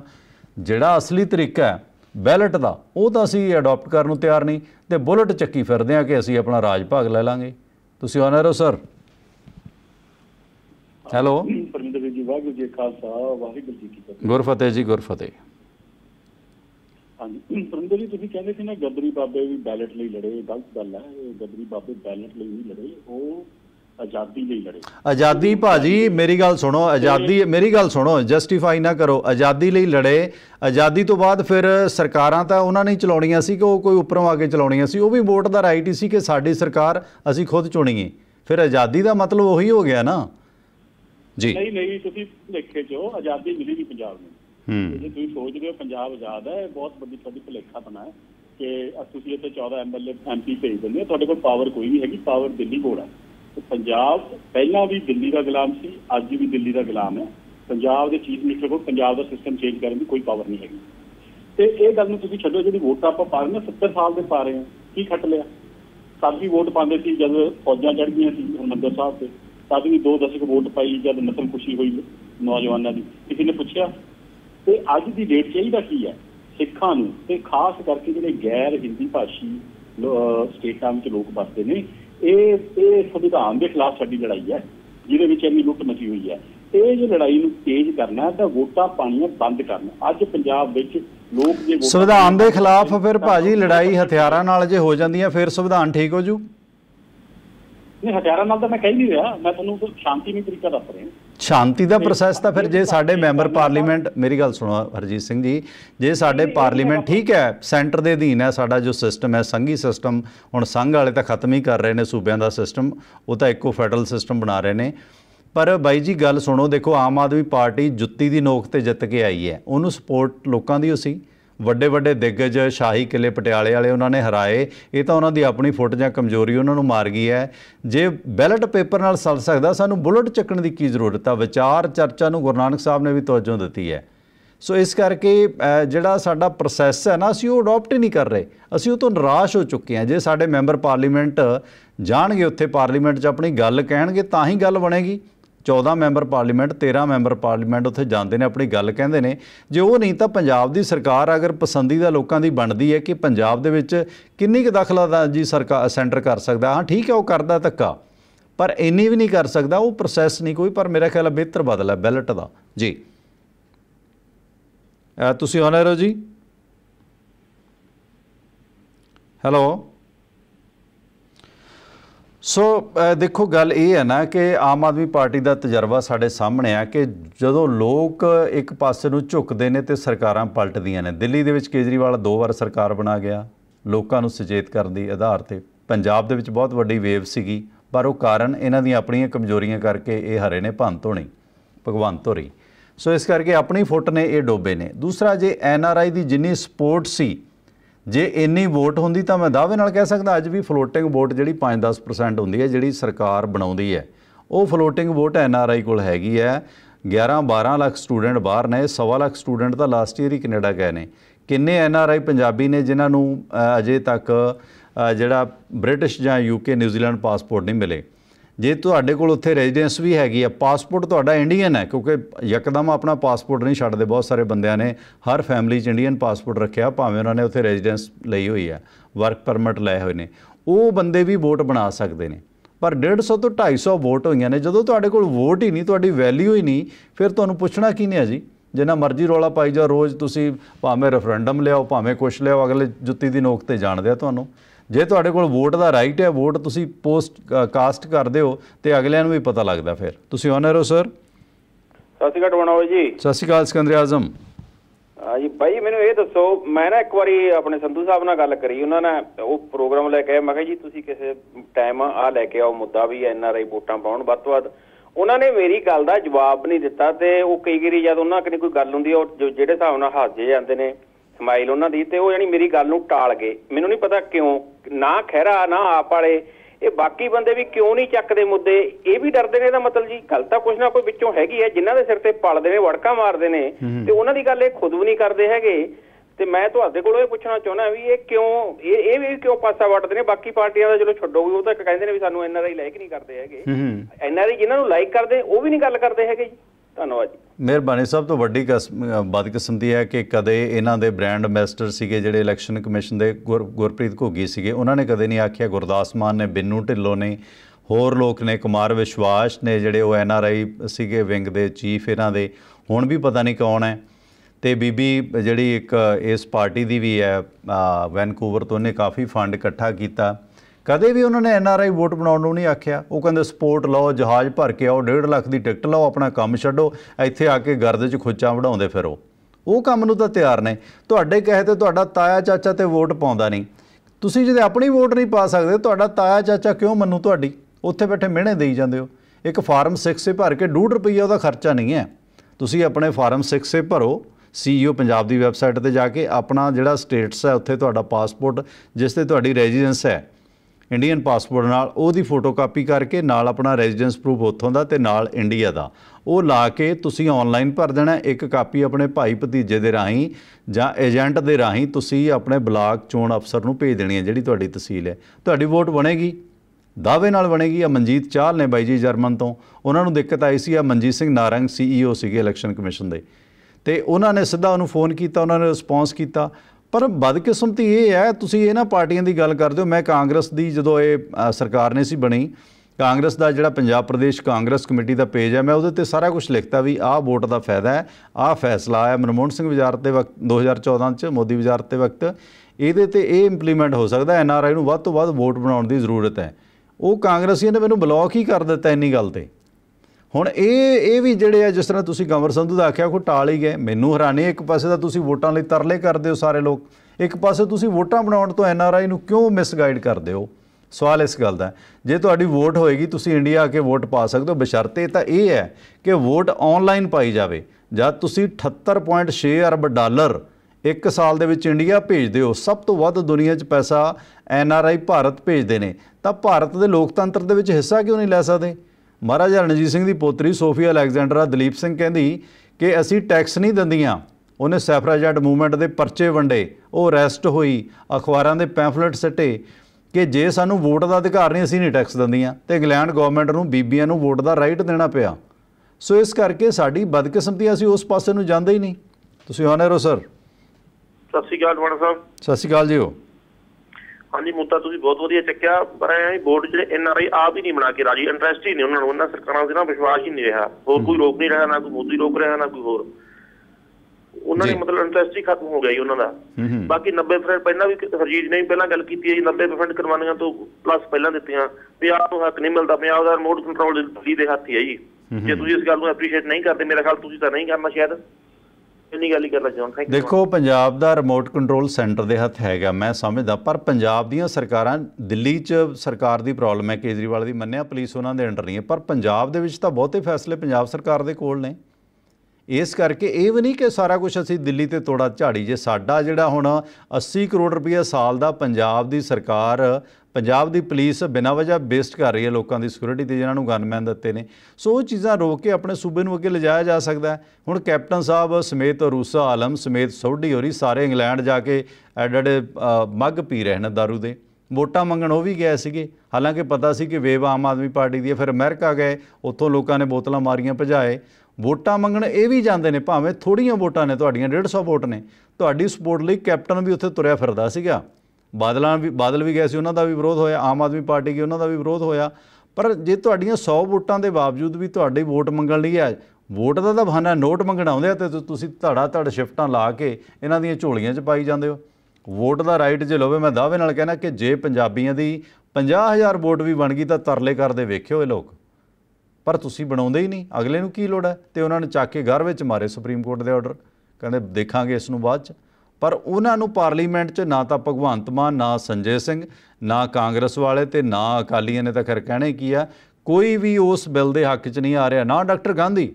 ਮੈਂ ਡਾਕਟਰ ਗਾਂਧੀ ਨੂੰ ਪੁੱਛਿਆ, ਕਹਿੰਦਾ ਜੀ, ਤੁਸੀਂ ਬਹੁਤ ਇਸ ਗੱਲ ਤੇ ਰੌਲਾ ਪਾਉਂਦੇ ਹੋ ਐਨਆਰਆਈ ਵੋਟ ਦਾ ਤਾਂ ਕੋਈ ਫਾਇਦਾ ਨਹੀਂ। ਖੈਰੇ ਦੇ ਫੈਨ ਬੜੇ ਨੇ ਬਾਹਰ ਵਾਲੇ, ਬੜਾ ਪੈਸਾ ਦਿੰਦੇ ਨੇ। ਵੋਟ ਕਿਉਂ ਨਹੀਂ ਬਣਾਉਂਦੇ ਵੀ ਖੈਰੇ ਦੇ ਕਹੇ ਤੇ ਨਾ ਖੈਰਾ ਕਹਿੰਦਾ, ਨਾ ਤੁਸੀਂ ਬਣਾਉਂਦੇ ਹੋ, ਕਿਉਂ ਨਹੀਂ ਬਣਾਉਂਦੇ? ਤੁਸੀਂ ਆਨਰ ਹੋ ਸਰ ਹਾਂਜੀ ਸਤਿ ਸ਼੍ਰੀ ਅਕਾਲ ਟਿਵਾਣਾ ਜੀ। ਸਤਿ ਸ਼੍ਰੀ ਅਕਾਲ ਜੀ ਉਹ ਰੰਧਾਵਾ ਸਾਹਿਬ। ਹਾਂਜੀ ਹਾਂਜੀ ਜੀ। ਸਰ ਗੱਲ ਇਦਾਂ ਵਾ ਕਿ ਇੱਥੇ ਜੇ ਮੈਂ ਤੁਹਾਨੂੰ ਬਾਹਰ ਦੀ ਦੱਸਦਾ ਜਿਹੜੇ ਤੁਸੀਂ ਕਹਿੰਦੇ ਜੇ ਨਾ ਜਾਂ ਪਰਮਾਨੈਂਟ ਆ ਗਏ ਜਾਂ ਜਿਨ੍ਹਾਂ ਕੋਲ ਇੰਡੀਅਨ ਪਾਸਪੋਰਟ ਹੈ ਜਾਂ ਜਿਹੜੇ ਸਟੂਡੈਂਟ ਆਉਂਦੇ ਨੇ। ਜੀ। ਪਹਿਲੀ ਗੱਲ ਤੇ ਉਹਨਾਂ ਦੇ ਵਿੱਚ ਇੰਨੀ ਅਵੇਅਰਨੈਸ ਹੀ ਨਹੀਂ ਹੈਗੀ ਕਿ ਅਸੀਂ ਵੋਟ ਵੀ ਬਣਾ ਸਕਦੇ ਹਾਂ। ਨਾ ਇੱਥੇ ਹੀ ਕੋਈ ਉਹਨਾਂ ਨੂੰ ਦੱਸਦਾ ਨਾ ਹੀ ਮੈਨੂੰ ਲੱਗਦਾ ਇੰਡੀਆ 'ਚ ਉਹਨੂੰ ਕੋਈ ਉਹਨਾਂ ਨੂੰ ਕੋਈ ਗਾਈਡ ਕਰਕੇ ਭੇਜਦਾ ਕਿ ਤੁਸੀਂ ਇਸ ਤਰ੍ਹਾਂ ਵੀ ਕਰ ਸਕਦੇ ਜੀ। ਹੂੰ ਹੂੰ। ਦੂਸਰਾ ਨੰਬਰ ਇੱਥੇ ਆਉਂਦਿਆਂ ਹੀ ਚਾਹੇ ਕੋਈ ਸਟੂਡੈਂਟ ਆਵੇ ਚਾਹੇ ਹੋਰ ਕੋਈ ਆਵੇ ਉਹਨਾਂ ਨੂੰ ਬਸ ਸ਼ਿਫਟਾਂ ਦੀ ਤੇ ਡਾਲਰਾਂ ਦੀ ਪੈ ਜਾਂਦੀ ਕਿ ਬਸ ਹੁਣ ਕਮਲਿਆਂ ਵਾਂਗੂ ਕੰਮ ਹੀ ਕਰੀ ਜਾਓ ਹੋਰ ਕਿਸੇ ਵੱਲ ਧਿਆਨ ਨਹੀਂ ਦਿੰਦੇ। ਜੀ। ਦੂਸਰਾ ਨੰਬਰ ਸਰ ਇੱਥੇ ਮੈਨੂੰ ਮੈਨੂੰ ਵੀ ਇਸ ਗੱਲ ਦੀ ਸਮਝ ਨਹੀਂ ਆ। ਆਮ ਆਦਮੀ ਪਾਰਟੀ ਦੀ ਇੰਨੀ ਵੇਵ ਸੀ ਉਹ ਸਾਰੀ ਐਨ ਆਰ ਆਈ ਕਰਕੇ ਬਣੀ ਇੰਨੀ ਫੰਡਿੰਗ ਆਈ ਤੇ ਫਿਰ ਭਗਵੰਤ ਮਾਨ ਜਾਂ ਖਹਿਰਾ ਹੋ ਗਿਆ ਜਾਂ ਹੋਰ ਆਮ ਆਦਮੀ ਪਾਰਟੀ ਦੇ ਲੀਡਰ ਹੋ ਗਏ ਉਹ ਇਸ ਗੱਲ ਨੂੰ ਕਿਸ ਤਰ੍ਹਾਂ ਭੁੱਲ ਗਏ ਕਿ ਜਾਂ ਉਹਨਾਂ ਦਾ ਮਨ ਉੱਠ ਗਿਆ ਆਮ ਆਦਮੀ ਐਨ ਆਰ ਆਈ ਤੋਂ? ਜਾਂ ਪਤਾ ਨਹੀਂ ਮੈਨੂੰ ਸਮਝ ਨਹੀਂ ਲੱਗੀ ਇਹ ਕਿਉਂ ਨਹੀਂ ਬੋਲਦੇ ਐਨ ਆਰ ਆਈ ਦੀ ਵੋਟ ਤੇ? ਜੇ ਘੱਟੋ ਘੱਟ ਇਹੋ ਹੀ ਜਾਗਰੂਕ ਕਰਨ ਜਦੋਂ ਉੱਥੋਂ ਸਟੂਡੈਂਟ ਇੰਡੀਆ ਤੋਂ ਚੜ੍ਹਦਾ ਹੈ ਕਿਤੇ ਵੀ ਜਾਣ ਲਈ। ਘੱਟੋ ਘੱਟ ਉਹ ਆ ਕੇ ਇੱਥੇ ਇੰਨਾ ਕੁ ਉੱਥੇ ਇੰਡੀਆ ਹੀ ਜਾਗਰੂਕ ਕਰ ਦੇਣ ਕਿ ਆ ਉਹਨੇ ਸਾਰ ਪਹਿਲਾਂ ਵੋਟ ਬਣਾਵੇ ਤੇ ਪਾਰਟਿਸਿਪੇਟ ਕਰੇ ਆਪਣੀਆਂ ਇਲੈਕਸ਼ਨਸ ਦੇ ਵਿੱਚ। ਜੀ। ਹਾਂ ਚਲੋ ਬੀਜੇਪੀ ਤੇ ਕਾਂਗਰਸ ਦੀ ਸਮਝ ਆਉਂਦੀ ਹੈ ਕਿ ਉਹ- ਉਹਨਾਂ ਨੂੰ ਦਿਸ ਗਿਆ ਕਿ ਆਮ ਆਦਮੀ ਪਾਰਟੀ ਦੀ ਵੇਵ ਬੜੀ ਐਨਆਰਆਈ ਬੜੇ ਸਪੋਰਟ ਕਰਦੇ ਆ ਤੇ ਅਸੀਂ ਅਸੀਂ ਇਹ ਬਿੱਲ ਨਹੀਂ ਆਉਣ ਦੇਣਾ ਸਾਨੂੰ ਇੰਨੀਆਂ ਵੋਟਾਂ ਨਹੀਂ ਬਾਹਰੋਂ ਪੈਣੀਆਂ ਪਰ ਕਮ ਸੇ ਕਮ ਭਗਵੰਤ ਮਾਨ ਤੇ ਕੇਜਰੀਵਾਲ ਇਹ ਤੇ ਥੋੜੀ ਬਹੁਤੀ ਹੋਸ਼ ਕਰਨ। ਕੇਜਰੀਵਾਲ ਨੂੰ ਤਾਂ ਛੱਡੋ ਭਗਵੰਤ ਮਾਨ ਨੇ ਇੱਕ ਵਾਰ ਵੀ ਧੰਨਵਾਦ ਰੰਧਾਵਾ ਸਾਹਿਬ ਭਗ- ਭਗ- ਭਗਵੰਤ ਮਾਨ ਨੇ ਇੱਕ ਵਾਰ ਵੀ ਐਨਆਰਆਈ ਨੂੰ ਵੋਟ ਬਣਾਉਣ ਬਾਰੇ ਨਹੀਂ ਕਿਹਾ। ਇਹ ਬਦਕਿਸਮਤੀ ਹੈ, ਕਿਉਂਕਿ ਅਸਲ ਦੇ ਵਿੱਚ ਹਰ ਸੱਤਾਧਾਰੀ ਐਨਆਰਆਈ ਵੋਟ ਤੋਂ ਡਰਦਾ ਹੈ। ਕਿਉਂਕਿ ਐਨਆਰਆਈ ਵੋਟ ਇਮੋਸ਼ਨਲ ਹੋ ਕੇ ਜਾਂ ਖੜਦੀ ਹੈ, ਹਰ ਬੰਦੇ ਨਾਲ ਜਿਹੜਾ ਅੱਛਾ ਕੰਮ ਕਰਦਾ ਹੈ। ਤੇ ਜਦੋਂ ਉਹ ਬੰਦਾ ਮਾੜਾ ਜਿਹਾ ਵੀ ਥੜਕਦਾ ਨਾ, ਤੇ ਐਨਆਰਆਈ ਯਕਦਮ ਉਹਦਾ ਵਿਰੋਧ ਕਰ ਰਹੇ ਨੇ, ਕਿਉਂਕਿ ਸਭ ਤੋਂ ਜ਼ਿਆਦਾ ਇਹ ਵੇਰ ਨੇ ਦੂਸਰਾ ਗੱਲ ਤੁਸੀਂ ਆਖਿਆ ਰੰਧਾਵਾ ਸਾਹਿਬ ਕਿ ਸਮਾਂ ਨਹੀਂ ਹੈ 18 18 ਘੰਟੇ ਫੇਸਬੁੱਕ ਤੇ ਰਹਿ ਸਕਦੇ ਨੇ। ਤੁਸੀਂ ਵੇਖੋ ਕਿ ਕਿੰਨੇ ਗਰੁੱਪ ਨੇ। ਸਾਰੀ ਐਨ ਆਰ ਆਈ ਜਿਹੜੀ ਸਪੋਰਟ ਹੈ ਉਹ ਹਰ ਪਾਰਟੀ ਨੂੰ ਆਉਂਦੀ ਹੈ। ਕਦੇ ਲੋਕ ਭਲਾਈ ਨੂੰ ਆਉਂਦੀ ਹੈ, ਕਦੇ ਅਕਾਲੀਆਂ ਨੂੰ ਆਉਂਦੀ ਹੈ। ਹਰ ਪਾਰਟੀ ਦੇ ਵਿੰਗ ਵਿਦੇਸ਼ਾਂ 'ਚ ਨੇ। ਤੇ ਪ੍ਰੋਬਲਮ ਇਹ ਹੈ ਕਿ ਉਹਨਾਂ ਕੋਲ ਸਮਾਂ ਹੈਗਾ। ਕੋਈ ਪੱਤਰਕਾਰ ਜੇ ਬੋਲਦਾ ਕਿਸੇ ਮੁੱਦੇ ਤੇ, ਉਹਨੂੰ ਗਾਲਾਂ ਕੱਢਣ ਦਾ ਬਥੇਰਾ ਐਨ ਆਰ ਆਈ ਕੋਲ ਹੈਗਾ ਜ਼ਰੂਰਤ। ਸਮਾਂ ਹੈਗਾ ਉਹਨਾਂ ਕੋਲ, ਉਹਨਾਂ ਦੇ ਖਿਲਾਫ ਗੰਦ ਵਕਣ ਦਾ। ਪਰ ਆਪਣਾ ਫਾਰਮ ਬਣਾ ਕੇ ਵੋਟ ਬਣਾਉਣ ਦਾ ਸਮਾਂ ਉਹਨਾਂ ਕੋਲ ਨਹੀਂ ਹੈ। ਤੁਸੀਂ ਵੇਖੋ ਫੇਸਬੁੱਕ ਤੇ ਕਿੰਨਾ ਸਮਾਂ ਲਾਉਂਦੇ ਆ। 10 ਲਾਈਨਾਂ ਨੇ ਉਸ ਫਾਰਮ ਦੀਆਂ ਸੀਯੂ ਪੰਜਾਬ ਦੀ ਵੈਬਸਾਈਟ ਤੇ ਜਾ ਕੇ ਤੁਸੀਂ ਐਨਆਰਏ ਵੋਟ ਦਾ ਕਾਲਮ ਕੱਢੋ। ਫਾਰਮ 6A ਭਰਨਾ ਤੁਸੀਂ। ਨਾਲ ਆਪਣੇ ਪ੍ਰੂਫ ਲਾ ਦੇਣਾ, ਡੂਢ ਕਾਗਜ਼ ਲੱਗਣਾ, ਉਹਦੇ ਨਾਲ ਦਾ ਹੀ ਕਾਗਜ਼ ਤੁਸੀਂ ਕੋਰੀਅਰ ਕਰ ਦੇਣਾ 5-700 ਰੁਪਏ ਕੋਰੀਅਰ ਤੇ ਖਰਚਾ ਆਉਣਾ। ਜਾ ਕੇ ਤੁਸੀਂ ਉੱਥੇ ਬਲਾਕ ਦਾ ਜਿਹੜਾ ਆਫੀਸਰ ਆ ਚੋਣ ਦਾ ਉਹਨੂੰ ਦੇਣਾ ਤੇ ਤੁਹਾਡੀ ਵੋਟ ਬਣ ਜਾਣੀ ਹੈ। ਤੇ ਤੁਸੀਂ ਗਿਣਤ ਗਿਣਤੀ ਚ ਆ ਜਾਣੇ ਹੋ। ਇਵਨ ਪ੍ਰੋਬਲਮ ਇਹ ਹੈ ਨਾ ਕਿ ਆਸਟ੍ਰੇਲੀਆ ਜਾਂ ਹੋਰ ਸੈਂਸਸ ਦੇ ਵਿੱਚ ਉੱਥੇ ਵੀ ਲੋਕ ਸ਼ਾਮਲ ਨਹੀਂ ਹੁੰਦੇ ਸਾਡੇ। ਸਿਰਫ ਫੇਸਬੁੱਕ ਸੋਸ਼ਲ ਸਾਈਟਸ ਤੇ ਰੌਲਾ ਪਾਉਣ ਜੋਗਾ ਸਾਡਾ ਭਾਈਚਾਰਾ। ਤੁਸੀਂ ਆਨਰ ਹੋ ਸਰ ਹੈਲੋ ਸਤਿ ਸ਼੍ਰੀ ਅਕਾਲ ਜੀ। ਟਵਾਣਾ ਸਾਹਿਬ ਰਾਮ ਸ਼ਰਮਾ ਬੇਨਤੀ ਕਰ ਰਹੇ ਜੀ। ਸ਼ਰਮਾ ਸਾਹਿਬ ਸਵਾਗਤ ਬਾਈ ਜੀ। ਹਾਂਜੀ ਟਵਾਣਾ ਸਾਹਿਬ ਤੁਹਾਡਾ ਜਿਹੜਾ ਇਸ਼ੂ ਹੈ ਨਾ ਬੜਾ ਵਧੀਆ ਹੈਗਾ ਔਰ ਬਾਕੀ ਤੁਸੀਂ ਇਸ ਵਾਸਤੇ ਇੱਕ ਤਰ੍ਹਾਂ ਦਾ ਕਾਫੀ ਦੇਰ ਹੋ ਗਈ ਤੁਹਾਨੂੰ ਮੀਡੀਆ ਤੇ ਸੁਣ ਰਹੇ ਆ। ਤੁਹਾਡਾ ਇਸ ਤਰ੍ਹਾਂ ਦਾ ਇਹ ਸੰਘਰਸ਼ ਵਿੱਢਿਆ ਹੋਇਆ। ਪਰ ਜੇ ਆਪਾਂ ਮੈਂ ਤੁਹਾਨੂੰ ਇੱਕ ਦੋ ਕੁਐਸਚਨ ਕਰਦਾ ਉਹ ਕੁਐਸਚਨਾਂ ਦੇ ਵਿੱਚ ਇੱਕ ਕੁਐਸਚਨ ਹੈ ਕੀ ਤੁਹਾਡੇ ਕੋਲੇ ਇਹਦੀ ਕੋਈ ਐਵਰੇਜ ਹੈਗੀ ਹੈ ਕਿ ਕਿੰਨੇ ਬੰਦੇ ਜਿਹੜੇ ਇੰਡੀਆ ਤੋਂ ਬੋਰਡ ਹੋਏ ਆ ਇੱਥੇ, ਉਹਨਾਂ ਕੁੰਨਿਆਂ ਕੋਲ ਸਿਟੀਜ਼ਨਸ਼ਿਪ ਹੈਗੀ ਆ, ਜਾਂ ਕਿਹੜੇ ਸਾਲ ਤੋਂ ਆਪਾਂ ਐਵਰੇਜ ਦੇ ਸਕਦੇ ਆ? ਕਿਉਂਕਿ ਜੇ ਆਪਾਂ ਜ਼ਿਆਦਾ ਪਛਾਣ ਨਾ ਜਾਈਏ ਤਾਂ 68 ਤੋਂ ਜਿਹੜੇ ਇੰਡੀਅਨ ਇੱਥੇ ਆਏ ਹੈਗੇ ਆ, ਉਹਨਾਂ ਦੇ ਬੱਚੇ ਵੀ ਜਿਹੜੇ ਹੈਗੇ ਆ, ਹੁਣ ਮਤਲਬ 30 ਸਾਲ ਤੋਂ ਉੱਪਰ ਦੇ ਹੈਗੇ ਆ, ਔਰ ਉਹ ਜਿਹੜੇ ਬੱਚੇ ਇੱਥੋਂ ਦੇ ਬੌਰਨ ਆ, ਉਹ ਤਾਂ ਬੌਰਨ ਸਿਟੀਜ਼ਨ ਆ, ਔਰ ਉਹਨਾਂ ਦੀ ਜਿਹੜੀ ਤੁਸੀਂ ਵੋਟ ਦੀ ਗੱਲ ਕਰ ਰਹੇ ਹੋ ਮੈਂ ਇਹਦੇ ਹੱਕ 'ਚ ਮੈਂ ਕਹਿੰਦਾ ਹੋਣੀ ਚਾਹੀਦੀ ਆ ਪਰ ਮੇਰੇ ਕੋਲ ਤਾਂ 42 ਸਾਲ ਹੋ ਗਏ ਸਿਟੀਜ਼ਨਸ਼ਿਪ ਲਈ ਨੂੰ। ਇਸ ਕਰਕੇ ਮੈਂ ਤੇ ਮੇਰੇ ਗਾਂ ਜਿਹੜੇ ਜਵਾਕ ਆ ਉਹ ਵੀ ਸਾਰੇ ਜਾਣੀ ਮੇਰੇ ਕੋਲ ਇੰਡੀਆ ਵਾਸਤੇ ਵੋਟ ਹੈ ਨਹੀਂਗੀ ਤਾਂ ਇਹ ਔਰ ਮੇਰੀ ਕੈਟਾਗਰੀ ਦੇ ਕਾਫੀ ਲੋਕ ਹੈਗੇ ਆ ਜਿਨ੍ਹਾਂ ਦੇ ਕੋਲ ਵੋਟ ਹੈ ਨਹੀਂ। ਜਿਹੜਾ ਹੁਣ ਇੱਥੇ ਹੋਣ ਵਾਲਾ ਸਟੂਡੈਂਟ ਵੀਜ਼ਾ ਵੀਜ਼ੇ ਸਿਸਟਮ ਦੇ ਉੱਤੇ ਜਾਂ ਨਾਮਨੀ ਪ੍ਰੋਗਰਾਮ ਦੇ ਵਿੱਚ ਬੱਚੇ ਲੋਕ ਆਉਂਦੇ ਆ ਉਹ ਲੋਕਾਂ ਦਾ ਟਵਾਣਾ ਸਾਹਿਬ ਇੱਥੇ ਹਾਲਾਤ ਇਹ ਯਾਰ ਵੋਟ ਪ੍ਰਤੀ ਕਿ ਜਦੋਂ ਇਲੈਕਸ਼ਨ ਹੁੰਦਾ ਨਾ ਨਾਲੇ ਜਿਹੜੇ ਆਪਣੇ ਕੈਂਡੀਡੇਟ ਹੁੰਦੇ ਉਹ ਘਰ ਘਰ ਡੋਰ ਡੋਰ ਆ ਕੇ ਬਾਈ ਵੀਰ ਜੀ ਅੰਕਲ ਜੋ ਕੁਝ ਕਹਿਣਾ ਕਹਿੰਦੇ ਪਰ ਆਪਣੇ ਬਾਹਲੇ ਲੋਕ ਆ ਜਿਹੜੇ ਇੱਥੇ ਉਹ ਵੋਟ 'ਚ ਇੰਟਰਸਟਡ ਨਹੀਂਗੇ ਸਵਾਏ ਕਿ ਕੈਲਗਰੀ ਸਰੀ ਸਾਈਡ। ਵਗੈਰਾ ਤੋਂ ਲੈ ਕੇ ਜਾਂ ਬਰੈਂਪਟਨ ਟਾਗੋ ਦੇ ਵਿੱਚ ਲੈ ਕੇ ਜਿੱਥੇ ਆਪਣੇ ਕੈਂਡੀਡੇਟਾਂ ਦਾ ਰਸ਼ ਹੁੰਦਾ ਉੱਥੇ ਕੁਝ ਪਰਸੈਂਟ ਜਿਹੜੀ ਆਪਣੀ ਵੋਟ ਵੋਟ ਜਿਹੜੀ ਹੈਗੀ ਹੈ ਪੋਲ ਹੋ ਜਾਂਦੀ ਹੈ ਪਰ ਆਪਣੇ ਇੰਡੀਆ ਦੇ ਵਿੱਚ ਜਿਹੜਾ ਤ- ਤੁਹਾਡਾ ਸੰਘਰਸ਼ ਇੱਕ ਤਰ੍ਹਾਂ ਮੁੱਢੋਂ ਹੈ ਕਿ ਇਹਦੇ ਵਾਸਤੇ ਬੜੀ ਮਿਹਨਤ ਦੀ ਲੋੜ ਹੈ ਔਰ ਇਹ ਐਵਰੇਜ ਤੁਸੀਂ ਲਾਓ ਕਿ ਕਿੰਨੀ ਕਿੰਨੇ ਹਜ਼ਾਰ ਵੋਟ ਹੈ ਜਿਹੜੀ ਤੁਸੀਂ ਕੱਲੇ ਪੰਜਾਬ ਦੀ ਜਾਂ ਆਪਾਂ ਕੱਲੇ ਪੰਜਾਬ ਦੇ ਸੰਘਰਸ਼ ਵਾਸਤੇ ਤੁਹਾਡੇ ਮਗਰ ਲੱਗੀਏ ਤੁਸੀਂ ਇਹਨੂੰ ਚਲਾਓ ਸੰਘਰਸ਼. ਨੂੰ। ਵੀ ਤੁਹਾਨੂੰ ਕਿੰਨੇ ਹਜ਼ਾਰ vote thank you Sharma Sahib. ਦੇਖੋ, ਮੈਂ ਪੰਜਾਬੀ ਟ੍ਰਿਬਿਊਨ 'ਚ ਆਰਟੀਕਲ ਲਿਖਿਆ ਸੀ। ਉਸ ਤੋਂ ਬਾਅਦ ਉਸ ਆਰਟੀਕਲ ਨੂੰ ਮੈਂ ਹੋਰਾਂ ਅਖਬਾਰਾਂ 'ਚ ਵੀ ਭੇਜਿਆ। ਮੈਂ ਕਿਹਾ ਜੀ, ਤੁਸੀਂ ਜੇ ਮੇਰੇ ਨਾਂ ਤੇ ਨਹੀਂ ਛਾਪਣਾ ਨਾ, ਤੁਸੀਂ ਸੰਪਾਦਕੀ ਦੇ ਵਿੱਚ ਲਿਖ ਦਿਓ। ਸੰਪਾਦਕੀ ਤਾਂ ਕਿਸੇ ਨੇ ਲਿਖੀ ਨਹੀਂ ਐਨ ਆਰ ਆਈ ਵੋਟ ਤੇ। ਤੇ ਕਿਸੇ ਦੇ ਨਾਂ ਤੇ ਹੋਰ ਤੇ ਛਾਪ ਦਿਓ, ਮੈਟਰ ਤੁਸੀਂ ਇਹ ਲੈ ਲਓ। ਕਈ ਵਾਰੀ ਹੁੰਦਾ ਨਾ ਕਿ ਫਲਾਣੇ ਦੇ ਨਾਂ ਤੇ ਆਰਟੀਕਲ ਛਾਪ ਗਿਆ। ਤੁਸੀਂ ਆਪਣੇ ਤੌਰ ਤੇ ਇਸ ਇਸ਼ੂ ਉਹ ਕਹਿੰਦੇ ਜੀ, ਇੱਕ ਵਾਰੀ ਜਿਹੜੇ ਅਖਬਾਰ 'ਚ ਛਪ ਗਿਆ, ਉਸ ਤੋਂ ਬਾਅਦ ਅਸੀਂ ਇਸ ਇਸ਼ੂ ਤੇ ਨਹੀਂ ਛਾਪਦੇ। ਭਾਵੇਂ ਪੰਜਾਬ ਦੀ ਆਵਾਜ਼ ਕਹਾਉਂਦਾ ਅਜੀਤ ਹੋਵੇ, ਸੱਚ ਸੁਣਾਈ ਸੱਚ ਕੀ, ਬੇਲਾ ਵਾਲੇ ਸਪੋਕਸਮੈਨ ਵਾਲੇ ਹੋਣ ਜਾਂ ਹੋਰ ਹੋਣ, ਕਿਸੇ ਨੇ ਕਦੇ ਕੋਈ ਸੰਪਾਦਕੀ ਨਹੀਂ ਲਿਖੀ। ਇਸ ਵਕਤ ਪੰਜਾਬ ਦੇ ਵਿੱਚ 37 ਲੱਖ ਪ੍ਰਵਾਸੀ ਮਜ਼ਦੂਰ ਨੇ ਬਿਹਾਰ ਤੋਂ, ਜਾਂ ਯੂਪੀ ਤੋਂ, ਜਾਂ ਹੋਰਨਾਂ ਸੂਬਿਆਂ ਤੋਂ। ਇਹ ਪੰਜਾਬ ਖੇਤੀਬਾੜੀ ਯੂਨੀਵਰਸਿਟੀ ਲੁਧਿਆਣਾ ਦਾ ਸਰਵੇ ਹੈ। 2.5-3 ਕਰੋੜ ਪੰਜਾਬ ਦੀ ਆਬਾਦੀ ਹੈ, ਜਿਹਦੇ ਚੋਂ 37 ਲੱਖ ਗੈਰ ਪੰਜਾਬੀ ਮਜ਼ਦੂਰ ਨੇ। ਤੇ ਫਿਰ ਪੰਜਾਬ ਬਚਦਾ ਕਿੱਥੇ ਹੈ? 37 ਲੱਖ ਦਾ ਇਹ ਕੱਢ ਦਿਓ। ਬਾਕੀ ਐਨਐਫਐਲ ਹੋ ਗਈ, ਹੋਰ ਵੱਡੇ ਅਦਾਰੇ ਹੋ ਗਏ, ਰੇਲਵੇ ਆਰਸੀਐਫ ਹੋ ਗਈ, ਹੋਰ ਕਿੰਨੇ ਅਦਾਰੇ ਹੋ ਗਏ, ਕਿੰਨੇ ਲੋਕ ਨੇ ਜਿਹੜੇ ਜੌਬ ਕਰਕੇ ਇੱਥੇ ਵਸ ਗਏ, ਜਿਹੜੇ ਗੈਰ ਪੰਜਾਬੀ ਨੇ, ਉਹ ਪੰਜਾਬੀ ਨਹੀਂ ਹੈ। ਤੁਸੀਂ ਕਿਹੜੇ ਪੰਜਾਬ ਦੀ ਗੱਲ ਕਰਦੇ ਹੋ? ਸਾਡਾ ਪੰਜਾਬੀ ਸੂਬਾ, ਇਹ ਤਾਂ ਸੂਬੀ ਬਣ ਗਈ ਹੈ। ਤੁਸੀਂ ਵੋਟ ਦਾ ਰਾਈਟ ਛੱਡੀ ਜਾ ਰਹੇ ਹੋ। ਕੱਲ ਨੂੰ ਕੋਈ ਚੀਫ ਮਿਨਿਸਟਰ ਕਿਸੇ ਬਿਹਾਰ ਯੂਪੀ ਦਾ ਬਣ ਜਾਂਦਾ, ਤੁਹਾਨੂੰ ਬਹੁਤ ਤਕਲੀਫ ਹੋਣੀ ਹੈ। ਖੁਸ਼ਵੰਤ ਸਿੰਘ ਕੰਵਲ ਵਰਗੇ ਲੋਕ ਵੀ ਕਹਿੰਦੇ ਸੀ, ਭਈਆਂ ਦਾ ਰਾਜ ਆ ਗਿਆ। ਇੱਕ ਹੋਰ ਵੀ ਸੱਜਣ ਸੀਗਾ ਬੜੇ ਸਿਆਸੀ ਪਰਿਵਾਰ 'ਚ, ਉਹ ਵੀ ਕਹਿੰਦਾ ਸੀ, ਭਈਏ ਭਜਾਓ ਪੰਜਾਬ ਬਚਾਓ। ਕਿਵੇਂ ਭਜਾ ਲੋਗੇ ਭਈਏ ਤੁਸੀਂ? ਇਸ ਕਰਕੇ ਇਹ ਜਿਹੜੀ ਸਥਿਤੀ ਬਣ ਰਹੀ ਹੈ, ਜਦੋਂ ਤੁਸੀਂ ਆਪਣੀ ਦਾਅਵੇਦਾਰੀ ਪੰਜਾਬ 'ਚੋਂ ਛੱਡ ਰਹੇ ਹੋ, ਪੰਜਾਬ ਦਾ ਸਭ ਤੋਂ ਪਹਿਲਾ ਜਲਾਵਤਨੀ ਮਹਾਰਾਜਾ ਦਲੀਪ ਸਿੰਘ ਸੀ। ਉਹ ਤਾਂ ਬੜਾ ਹੁੱਬਾ ਮਾਰ-ਮਾਰ ਰੋਂਦੇ ਹੋ, ਭੁੱਬਾ ਮਾਰ-ਮਾਰ ਰੋਂਦੇ ਹੋ ਕਿ ਮਾਸੂਮ ਬਾਦਸ਼ਾਹ ਨੂੰ ਅੰਗਰੇਜ਼ ਲੈ ਗਏ ਪਰ ਜਿਹੜੀ ਜਲਾਵਤਨੀ ਤੁਸੀਂ ਕਰ ਰਹੇ ਹੋ ਨਾ, ਐਨ ਆਰ ਆਈ ਹੋ ਕੇ ਆਪਣਾ ਰਾਈਟ ਹੋਣ ਦੇ ਬਾਵਜੂਦ ਵੀ ਤੁਸੀਂ ਉੱਥੇ ਵੋਟ ਨਹੀਂ ਬਣਾ ਰਹੇ। ਤੁਹਾਨੂੰ ਦਲੀਪ ਸਿੰਘ ਕੌਣ ਬਣਾ ਰਿਹਾ? ਤੁਸੀਂ ਖੁਦ ਬਣ ਰਹੇ ਹੋ। ਤੁਸੀਂ ਪੰਜਾਬ ਤੇ ਆਪਣੀ ਦਾਅਵੇਦਾਰੀ ਖੁਦ ਛੱਡ ਰਹੇ ਹੋ। ਡੇਢ ਮਿੰਟ ਦਾ ਸਮਾਂ ਤੁਸੀਂ ਦੇ ਨਹੀਂ ਸਕਦੇ। ਸੋ ਇਸ ਕਰਕੇ ਸਾਨੂੰ ਸਵੈ ਪੜਚੋਲ ਕਰਨੀ ਚਾਹੀਦੀ ਹੈ। ਮੋਦੀ ਤੇ ਤੋੜਾ ਝਾੜਨਾ ਕੋਈ ਸਿਆਣਪ ਨਹੀਂ ਹੈ। ਮੇਰੀਆਂ ਗੱਲਾਂ ਕਈਆਂ ਨੂੰ ਬੁਰੀਆਂ ਲੱਗਣੀਆਂ, ਮੈਨੂੰ ਪਤਾ ਕਾਲਾਂ ਵੀ ਘੱਟ ਆਉਣਗੀਆਂ। ਪਰ ਇਸ ਕਰਕੇ ਕਿਹੜੀ ਜਲਾਵਤਨੀ ਜਲਾਵਤਨੀ ਜਲਾਵਤ ਤਾਂ ਤੁਸੀਂ ਖੁਦ ਸਿੜ ਰਹੇ ਹੋ। ਇੱਕ ਵਕਫਾ ਲਵਾਂਗੇ। ਵਕਫੇ ਤੋਂ ਬਾਅਦ ਫਿਰ ਇਸ ਇਸ਼ੂ ਤੇ ਗੱਲਬਾਤ ਹੋਵੇਗੀ ਕਿ ਐਨ ਆਰ ਆਈ ਨੂੰ ਸੁਪਰੀਮ ਕੋਰਟ ਦੁਆਰਾ ਮਿਲਿਆ ਹੋਇਆ ਵੋਟ ਦਾ ਹੱਕ ਮੋਦੀ ਸਰਕਾਰ ਨਹੀਂ ਦੇ ਰਹੀ ਤੇ ਕੋਈ ਵੀ ਨਖਿੱਧ ਪਾਰਟੀ, ਕੋਈ ਵੀ ਜਿਹੜੀ ਦਾਅਵੇਦਾਰੀ ਵਾਲੀ ਪੰਜਾਬੀਆਂ ਲਈ ਲੜਨ ਵਾਲੀ ਜਾਂ ਭਾਰਤੀਆਂ ਐਨ ਆਰ ਆਈ ਲਈ ਲੜਨ ਵਾਲੀ ਸੰਸਥਾ ਇਹਦੇ ਬਾਰੇ ਕੋਈ ਵੀ ਪ੍ਰੋਟੈਸਟ ਨਹੀਂ ਕਰ ਰਹੀ। ਐਨ ਆਰ ਆਈ ਮੀਡੀਆ ਵੀ ਬਹੁਤਾ ਹਿੱਸਾ ਨਹੀਂ ਬੋਲ ਰਿਹਾ ਇਸ ਇਸ਼ੂ ਤੇ। ਸਭ ਨੇ ਘੁੰਗੜੀਆਂ ਪਾ ਲੀਆਂ ਨੇ। ਇਸ ਵਕਫੇ ਤੋਂ ਬਾਅਦ ਫਿਰ ਇਸ ਸੰਜੀਦਾ ਮੁੱਦੇ ਤੇ ਗੱਲਬਾਤ ਹੋਵੇਗੀ। ਹੈਲੋ, ਗਲੋਬਲ ਪੰਜਾਬ ਪ੍ਰੋਗਰਾਮ ਦੇ ਸਤਿਕਾਰਤ ਦਰਸ਼ਕਾਂ ਦਾ ਇਸ ਪ੍ਰੋਗਰਾਮ ਦੇ ਵਿੱਚ ਪਰਮਿੰਦਰ ਸਿੰਘ ਟਿਵਾਣਾ ਵੱਲੋਂ ਸਵਾਗਤ ਹੈ।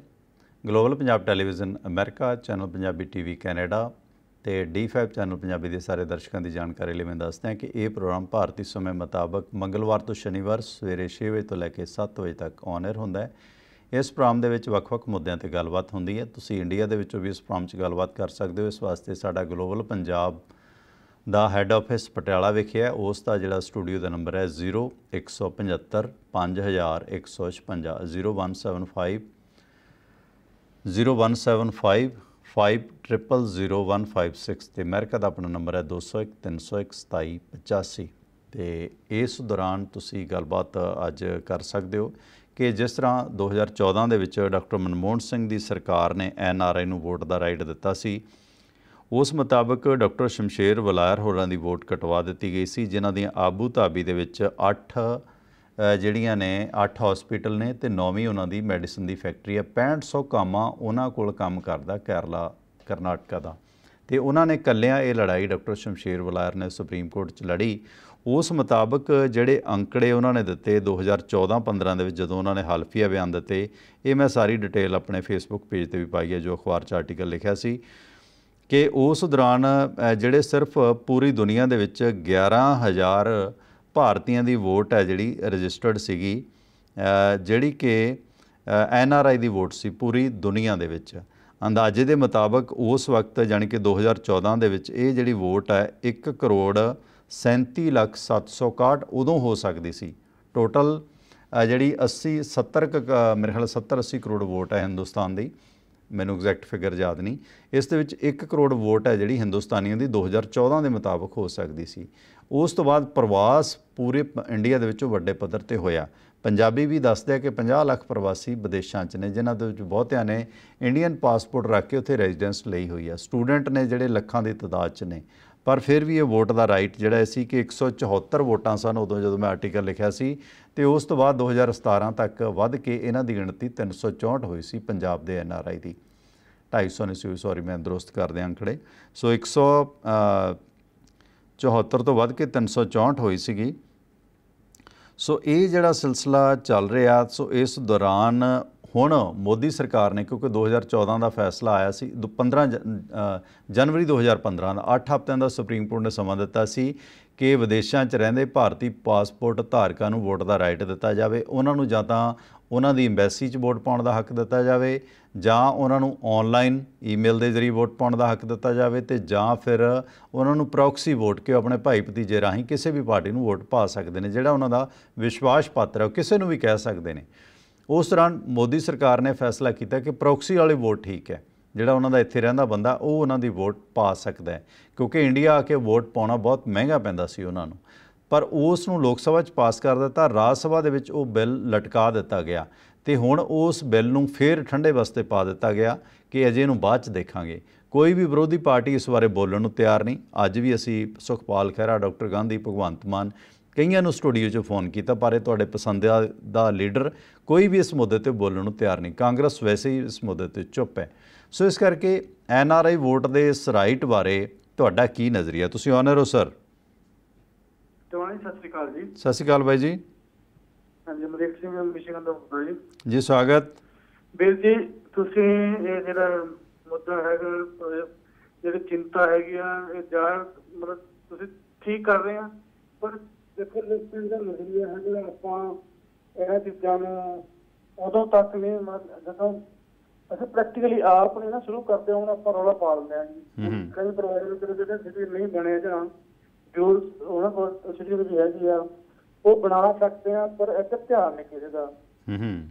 ਤੇ ਅਸੀਂ ਮਤਲਬ ਜਦੋਂ ਹੋਰ ਪਾਸੇ ਸਪੋਰਟ ਕਰਦੇ ਹਾਂ ਤੇ ਜੇ ਸਾਨੂੰ ਇਹ ਰਾਈਟਸ ਹੈਗਾ ਜ਼ਰੂਰ ਇਹਦਾ। ਮਤਲਬ ਅਸੀਂ ਬੈਲੈਂਸ ਚਾਹੀਦਾ। ਨੰਬਰ 2 ਤੁਸੀਂ ਜਿਹੜੀ ਗੱਲ ਕੀਤੀ ਮੈਂ ਮੇਰਾ ਮੋਹ ਨੇ ਜਿਹੜੀ ਹੈਗੀ ਆ ਉਧਰ ਫੋਕਸ ਹੈਗਾ ਕਿ ਆਉਣ ਵਾਲੇ ਦਸਾਂ ਤੇ 15 ਸਾਲਾਂ ਤੁਸੀਂ ਜਿਹੜੀ ਗੱਲ ਕਹੀ ਆ ਉਹ ਬਾਕੀ ਜਿਹੜਾ ਮੁੱਖ ਮੰਤਰੀ ਬਿਹਾਰੀ ਜਾਂ ਯੂਪੀ ਤੋਂ ਜਾਂ ਮੱਧ ਪ੍ਰਦੇਸ਼ ਜਿੱਥੋਂ ਵੀ ਆ ਸਕਦਾ ਜੀ ਪੰਜਾਬ ਦਾ। ਹੂੰ ਜੀ। ਕਿਉਂਕਿ ਇੱਥੇ ਜਿਹੜੀ ਨਿਊਜ਼ ਲੱਗੀ ਵੀ ਸੀਗੀ ਇੱਕ ਮੋਹਾਲੀ ਜ਼ਿਲ੍ਹੇ ਦੇ ਵਿੱਚ ਇੱਕ ਕਿਸੇ ਦੀ ਕਰੰਟ ਲੱਗ ਕੇ ਮੌਤ ਹੋਈ 45 ਸਾਲ ਦਾ ਬੰਦਾ ਉਹ ਬਿਹਾਰ ਤੋਂ ਸੀਗਾ ਉਹਦੇ 12 ਨਿਆਣੇ ਆ ਜੀ ਉਹਦੇ। ਹੂੰ ਸਾਡੇ ਪੰਜਾਬੀਆਂ ਦਾ ਇੱਕ ਇੱਕ ਦੋ ਦੋ ਨਿਆਣਾ ਹੁੰਦਾ ਉਹਨਾਂ ਦਾ 12 ਜਿਹੜੇ ਜਨਰੇਸ਼ਨ ਜਿਹੜੀ ਹੈਗੀ 12 ਆਉਣ ਵਾਲੀਆਂ ਨਸਲਾਂ ਹੈਗੀਆਂ ਉਹਨੇ ਪਹਿਲਾਂ ਹੀ ਮਤਲਬ ਉੱਥੇ ਤੱਕ ਪਹੁੰਚਾਤੀ। ਉਹ 37 ਲੱਖ ਨਹੀਂ ਵੀਰ ਜੀ ਇਹ ਤਾਂ ਬਹੁਤ ਵੱਡੇ ਪੱਧਰ ਤੇ ਹੋਰ ਵੀ ਹੋ ਸਕਦੇ ਆ। ਤੇ ਇਕੱਲੇ ਹੀ ਆਪਣਾ ਥੈਂਕ ਯੂ ਮਿਹਰਬਾਨੀ ਮੈਂ ਕੋਈ ਇਸ ਗੱਲ ਦਾ ਵਿਰੋਧ ਨਹੀਂ ਕਿ ਭਈਏ ਭਜਾਓ ਬਿਹਾਰ ਪੰਜਾਬ ਬਚਾਓ। ਉਹ ਮਿਹਨਤ ਕਸ਼ ਨੇ ਸਾਡਾ ਬਿਹਾਰ ਯੂਪੀ ਨਾਲ ਕੋਈ ਇਸ ਤਰ੍ਹਾਂ ਦਾ ਵਾ ਸਾਡੇ ਤੇ ਸਹਿਬੇ ਕਮਾਲ ਦਸ਼ਮੇਸ਼ ਪਿਤਾਬ ਬਿਹਾਰ ਦੇ ਜੰਮਪਲ ਸੀ। ਸੋ ਗੱਲ ਇਸ਼ੂ ਉਹ ਨਹੀਂ ਹੈ ਦੇਖੋ 37 ਲੱਖ ਬਿਹਾਰੀ ਪ੍ਰਵਾਸੀ ਮਜ਼ਦੂਰ ਇੱਥੇ ਹੈਗੇ ਨੇ। ਗੱਲ ਇਹ ਹੈ ਕਿ ਅਸੀਂ ਆਪਣੀ ਹੋਂਦ ਛੱਡ ਕੇ ਕਿਉਂ ਜਲਾਵਤਨ ਹੋ ਰਹੇ ਹਾਂ? ਅਸੀਂ ਆਪਣਾ ਦਾ ਵੋਟ ਦਾ ਰਾਈਟ ਛੱਡ ਰਹੇ ਹਾਂ, ਕਿਉਂ ਛੱਡ ਰਹੇ ਹਾਂ?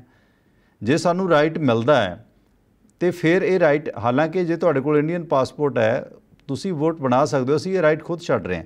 ਜਿੱਥੋਂ ਤੱਕ ਪੰਜਾਬ ਦੀ ਗੱਲ ਹੈ, ਇਸ ਸੰਬੰਧੀ ਬੜੇ ਦਿਲ ਹਲਾਊ ਅੰਕੜੇ ਨੇ ਕਿ ਪੰਜਾਬ ਦੀ ਸਥਿਤੀ ਕੀ ਬਣਨ ਵਾਲੀ ਹੈ। ਚਰਨਜੀਤ ਭੁੱਲਰ ਹੋਰਾਂ ਨੇ ਇਸ ਵੀਕਐਂਡ ਤੇ ਬਹੁਤ ਕਮਾਲ ਦੀ ਰਿਪੋਰਟ ਪੇਸ਼ ਕੀਤੀ ਸੀ, ਜਿਸ ਦੇ ਵਿੱਚ ਉਹਨਾਂ ਨੇ ਦੱਸਿਆ ਸੀ ਕਿ ਪੰਜਾਬ ਬੁੜਿਆਂ ਦਾ ਦੇਸ਼ ਬਣ ਜਾ ਰਿਹਾ।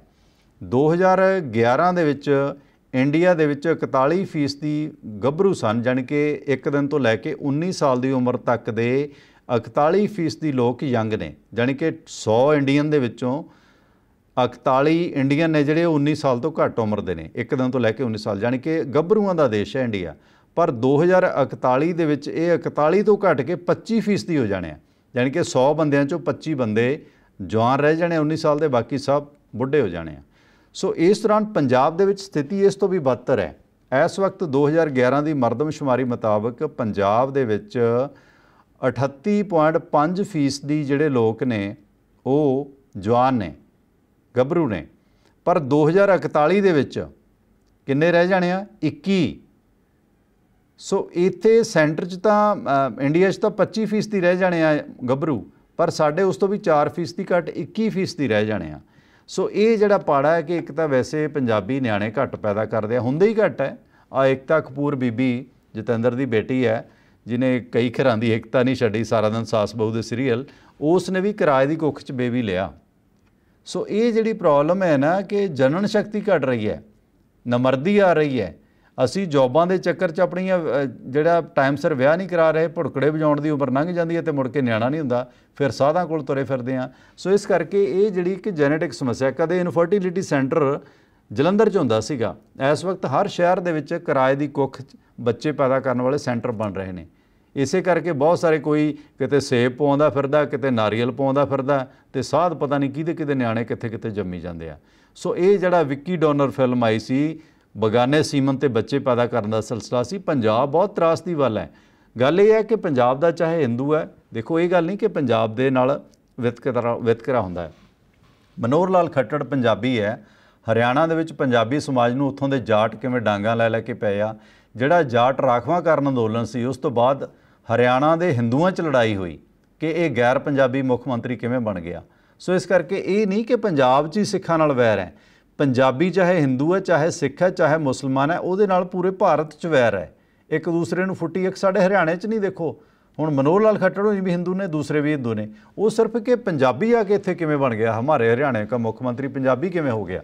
ਸੋ ਇਸ ਕਰਕੇ ਇਹ ਪਾੜਾ ਜਿਹੜਾ ਵੱਧਦਾ ਜਾਣਾ ਆਉਣ ਵਾਲੇ ਸਮੇਂ ਦੇ ਵਿੱਚ ਜਿਹੜੀ ਸਥਿਤੀ ਹੈ ਨਾ, ਕਿ ਪੰਜਾਬ ਦੇ ਵਿੱਚੋਂ ਗੱਭਰੂ ਲੱਭਣੇ ਕਿਤੇ ਨੇ, ਜਿਹਦੀ ਡਾਂਗ ਹੈ ਤੇ ਉਸ ਦਾ ਡੈਰੀ ਫਾਰਮ ਹੈ ਅੱਜਕੱਲ ਕਿੱਥੇ ਖੜੇ ਹੋ ਤੁਸੀਂ? ਜੇ ਤੁਸੀਂ ਵੋਟ ਨਹੀਂ ਬਣਾਉਂਦੇ, ਅੱਜ ਤੁਸੀਂ ਲੋਕ ਪਿੱਟਦੇ ਹੋ ਬਹੁਤ ਸਾਰੇ ਲੋਕ ਕਿ ਬਾਦਲ ਨੇ ਐਸਜੀਪੀਸੀ ਖਾ ਲਈ, ਬਾਦਲ ਨੇ ਆਰਐਸਐਸ ਵਾੜਤੀ।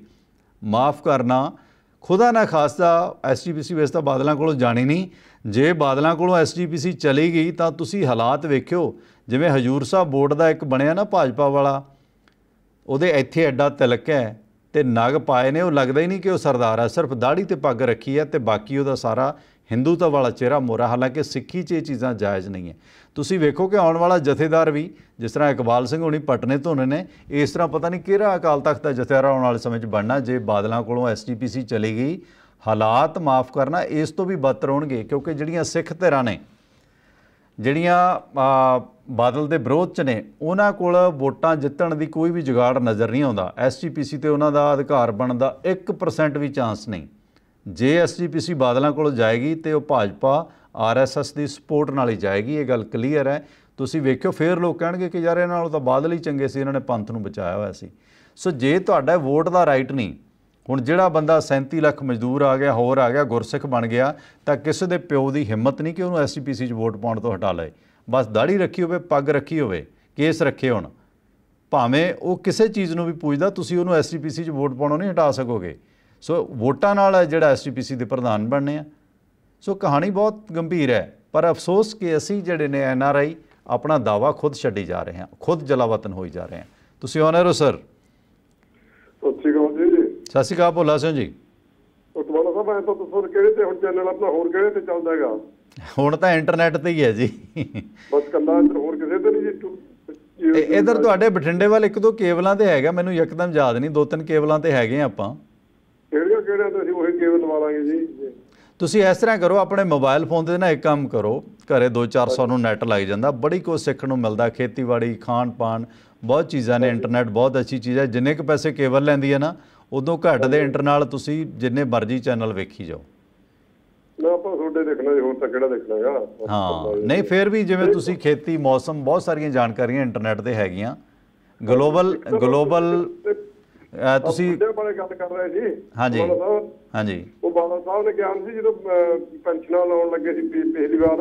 ਹਾਂ ਹਾਂ। ਬਾਦਲ ਸਾਹਿਬ ਦੀ ਸਰਕਾਰ ਸੀ ਬਾਦਲ ਕਹਿੰਦਾ ਮੈਨੂੰ ਐ ਲੱਗਦਾ ਹੈ ਜਿਵੇਂ ਪੰਜਾਬ ਦੇ ਵਿੱਚ ਸਾਰੇ ਬੁੱਢੇ ਹੀ ਹੋ ਗਏ ਹੁੰਦੇ ਆ। ਉਹ ਗੱਲ ਸਹੀ ਹੈ ਜੀ। ਉਦੋਂ ਕੁਝ ਲੋਕਾਂ ਨੂੰ ਨਹੀਂ ਇਹ ਗੱਲ ਦਾ ਪਤਾ ਲੱਗਿਆ ਸੀਗਾ ਵੀ ਬਾਦਲ ਸਾਹਿਬ ਕਿਉਂ ਕਹਿ ਰਹੇ ਆ ਬੁੱਢੇ ਆ। ਬੁੱਢਿਆਂ ਦਾ। ਜਿਹੜੇ ਕਰਦੇ ਨੇ ਨਹੀਂ ਸਮਝੇ ਜੀ। Thank you Bhola Singh ji. ਮਿਹਰਬਾਨੀ, ਤੁਸੀਂ ਇਹ ਗਲੋਬਲ ਦੀ ਐਪ ਡਾਊਨਲੋਡ ਕਰ ਲਓ। ਹੋਰ ਦਰਸ਼ਕਾਂ ਨੂੰ ਵੀ ਗੁਜ਼ਾਰਿਸ਼ ਹੈ ਕਿ ਰੋਕੂ ਤੇ ਜਾਂ ਹੋਰ ਤਾਂ ਹੈਗੀ ਹੀ ਹੈ। ਤੁਸੀਂ ਗਲੋਬਲ ਪੰਜਾਬ ਦੀ ਐਪ ਡਾਊਨਲੋਡ ਕਰ ਲਓ ਤੇ ਤੁਹਾਨੂੰ ਸਾਰੇ ਪ੍ਰੋਗਰਾਮ ਮਿਲ ਜਾਇਆ ਕਰਨਗੇ। ਸੋ ਇਸ ਕਰਕੇ ਜਿਹੜੇ ਤੁਹਾਨੂੰ ਇੰਡੀਆ ਦੇ ਵਿੱਚ ਬਹੁਤ ਸਾਰੇ ਸੱਜਣ ਨੇ ਨਾ 5-500 4-400 ਰੁਪਏ ਕੇਬਲ ਦਾ ਲੈਂਦੇ ਨੇ, ਦਿਖਾਉਂਦੇ ਫਿਰ ਉਹ ਵੀ ਮੋਦੀ ਤੇ ਆਪਣੀ ਆਪਣੀ ਖਬਰਾਂ ਨੇ। ਸੋ ਇਸ ਕਰਕੇ ਇੰਟਰਨੈਟ ਤੇ ਜੇ ਫਿਰ ਵੀ ਕਾਫੀ ਕੁਝ ਤੁਹਾਨੂੰ ਨਿਰਪੱਖ ਮਿਲ ਜਾਂਦਾ ਹੈ।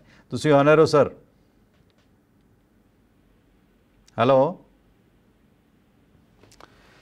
ਸੋ ਦੋਸਤੋ, ਇਹ ਜਿਹੜੀ ਸਥਿਤੀ ਹੈ, ਦੇਖੋ ਜੇ ਅਸੀਂ ਆਪਣੀਆਂ ਦਾਅਵੇਦਾਰੀਆਂ ਖੁਦ ਛੱਡਾਂਗੇ, ਪੰਜਾਬ ਦੀ ਤਸਵੀਰ ਬਦਲ ਰਹੀ ਹੈ। ਪੰਜਾਬ ਦੇ ਵਿੱਚ ਦਾਅਵੇਦਾਰੀ ਵੋਟ ਦੀ, ਅਸੀਂ ਇਹ ਤੋੜਾ ਝਾੜ ਕੇ ਕਿ ਯਾਰ ਮੋਦੀ ਨੇ ਐ ਕਰ ਜਾਣਾ। ਕਈ ਸਾਰੇ ਕਮੈਂਟ ਆਏ ਨੇ, ਮੈਂ ਉਹ ਵੀ ਪੜ੍ਹਦਾ ਕਿ ਇੰਨੇ ਲੋਕ ਨਿਰਾਸ਼ ਹੋ ਚੁੱਕੇ ਨੇ ਕਿ ਵੋਟ ਕਹਿੰਦੇ ਇੱਕ ਵੀਰ ਨੇ ਤਾਂ ਲਿਖਿਆ, ਕਹਿੰਦੇ ਵੋਟ ਜੇ ਅਸੀਂ ਪਾਈ ਵੀ ਜਾਣੀ ਭਾਜਪਾ ਨੂੰ। ਵੀਰ ਮੇਰਿਆ ਇਦਾਂ ਇੰਨੀ ਵੀ ਨੇਰਗਰਦੀ ਨਹੀਂ ਹੁੰਦੀ। ਜੇ ਅਸੀਂ ਲੜਾਈ ਆਪਣੀ ਖੁਦ ਛੱਡਾਂਗੇ, ਤੇ ਫਿਰ ਕਿਹਨੇ ਸਾਡੀ ਲੜਾਈ ਲੜਨੀ ਹੈ? ਸਾਹਿਬੇ ਕਮਾਲ ਜਾਂ ਸਾਡੇ ਸਿੱਖ ਫਲਸਫੇ ਦਾ ਵਚਨ ਹੈ ਕਿ ਜੇ ਜ਼ੁਲਮ ਕਰਨਾ ਪਾਪ ਹੈ ਤੇ ਜ਼ੁਲਮ ਸਹਿਣਾ ਵੀ ਪਾਪ ਹੈ। ਅਸੀਂ ਇਹ ਜ਼ੁਲਮ ਜ਼ੋਰ ਜ਼ਬਰਦਸਤੀਆਂ ਕਿਉਂ ਸਹੀਏ ਕਿਹੜੀ ਸਾਨੂੰ ਵਿਫਤਾ ਪਈ ਹੈ? ਕਿਉਂ ਅਸੀਂ ਇਹਨਾਂ ਚੀਜ਼ਾਂ ਨੂੰ ਝੇਲਦੇ ਹਾਂ? ਤੁਸੀਂ ਆਨਰ ਹੋ ਸਰ? ਮੈਂ ਵਾਲੀ ਬੇਨਤੀ ਕਰਦਾ ਸਰ। ਜੀ ਸਮਿਆ ਵਾਲੀ ਸਾਹਿਬ।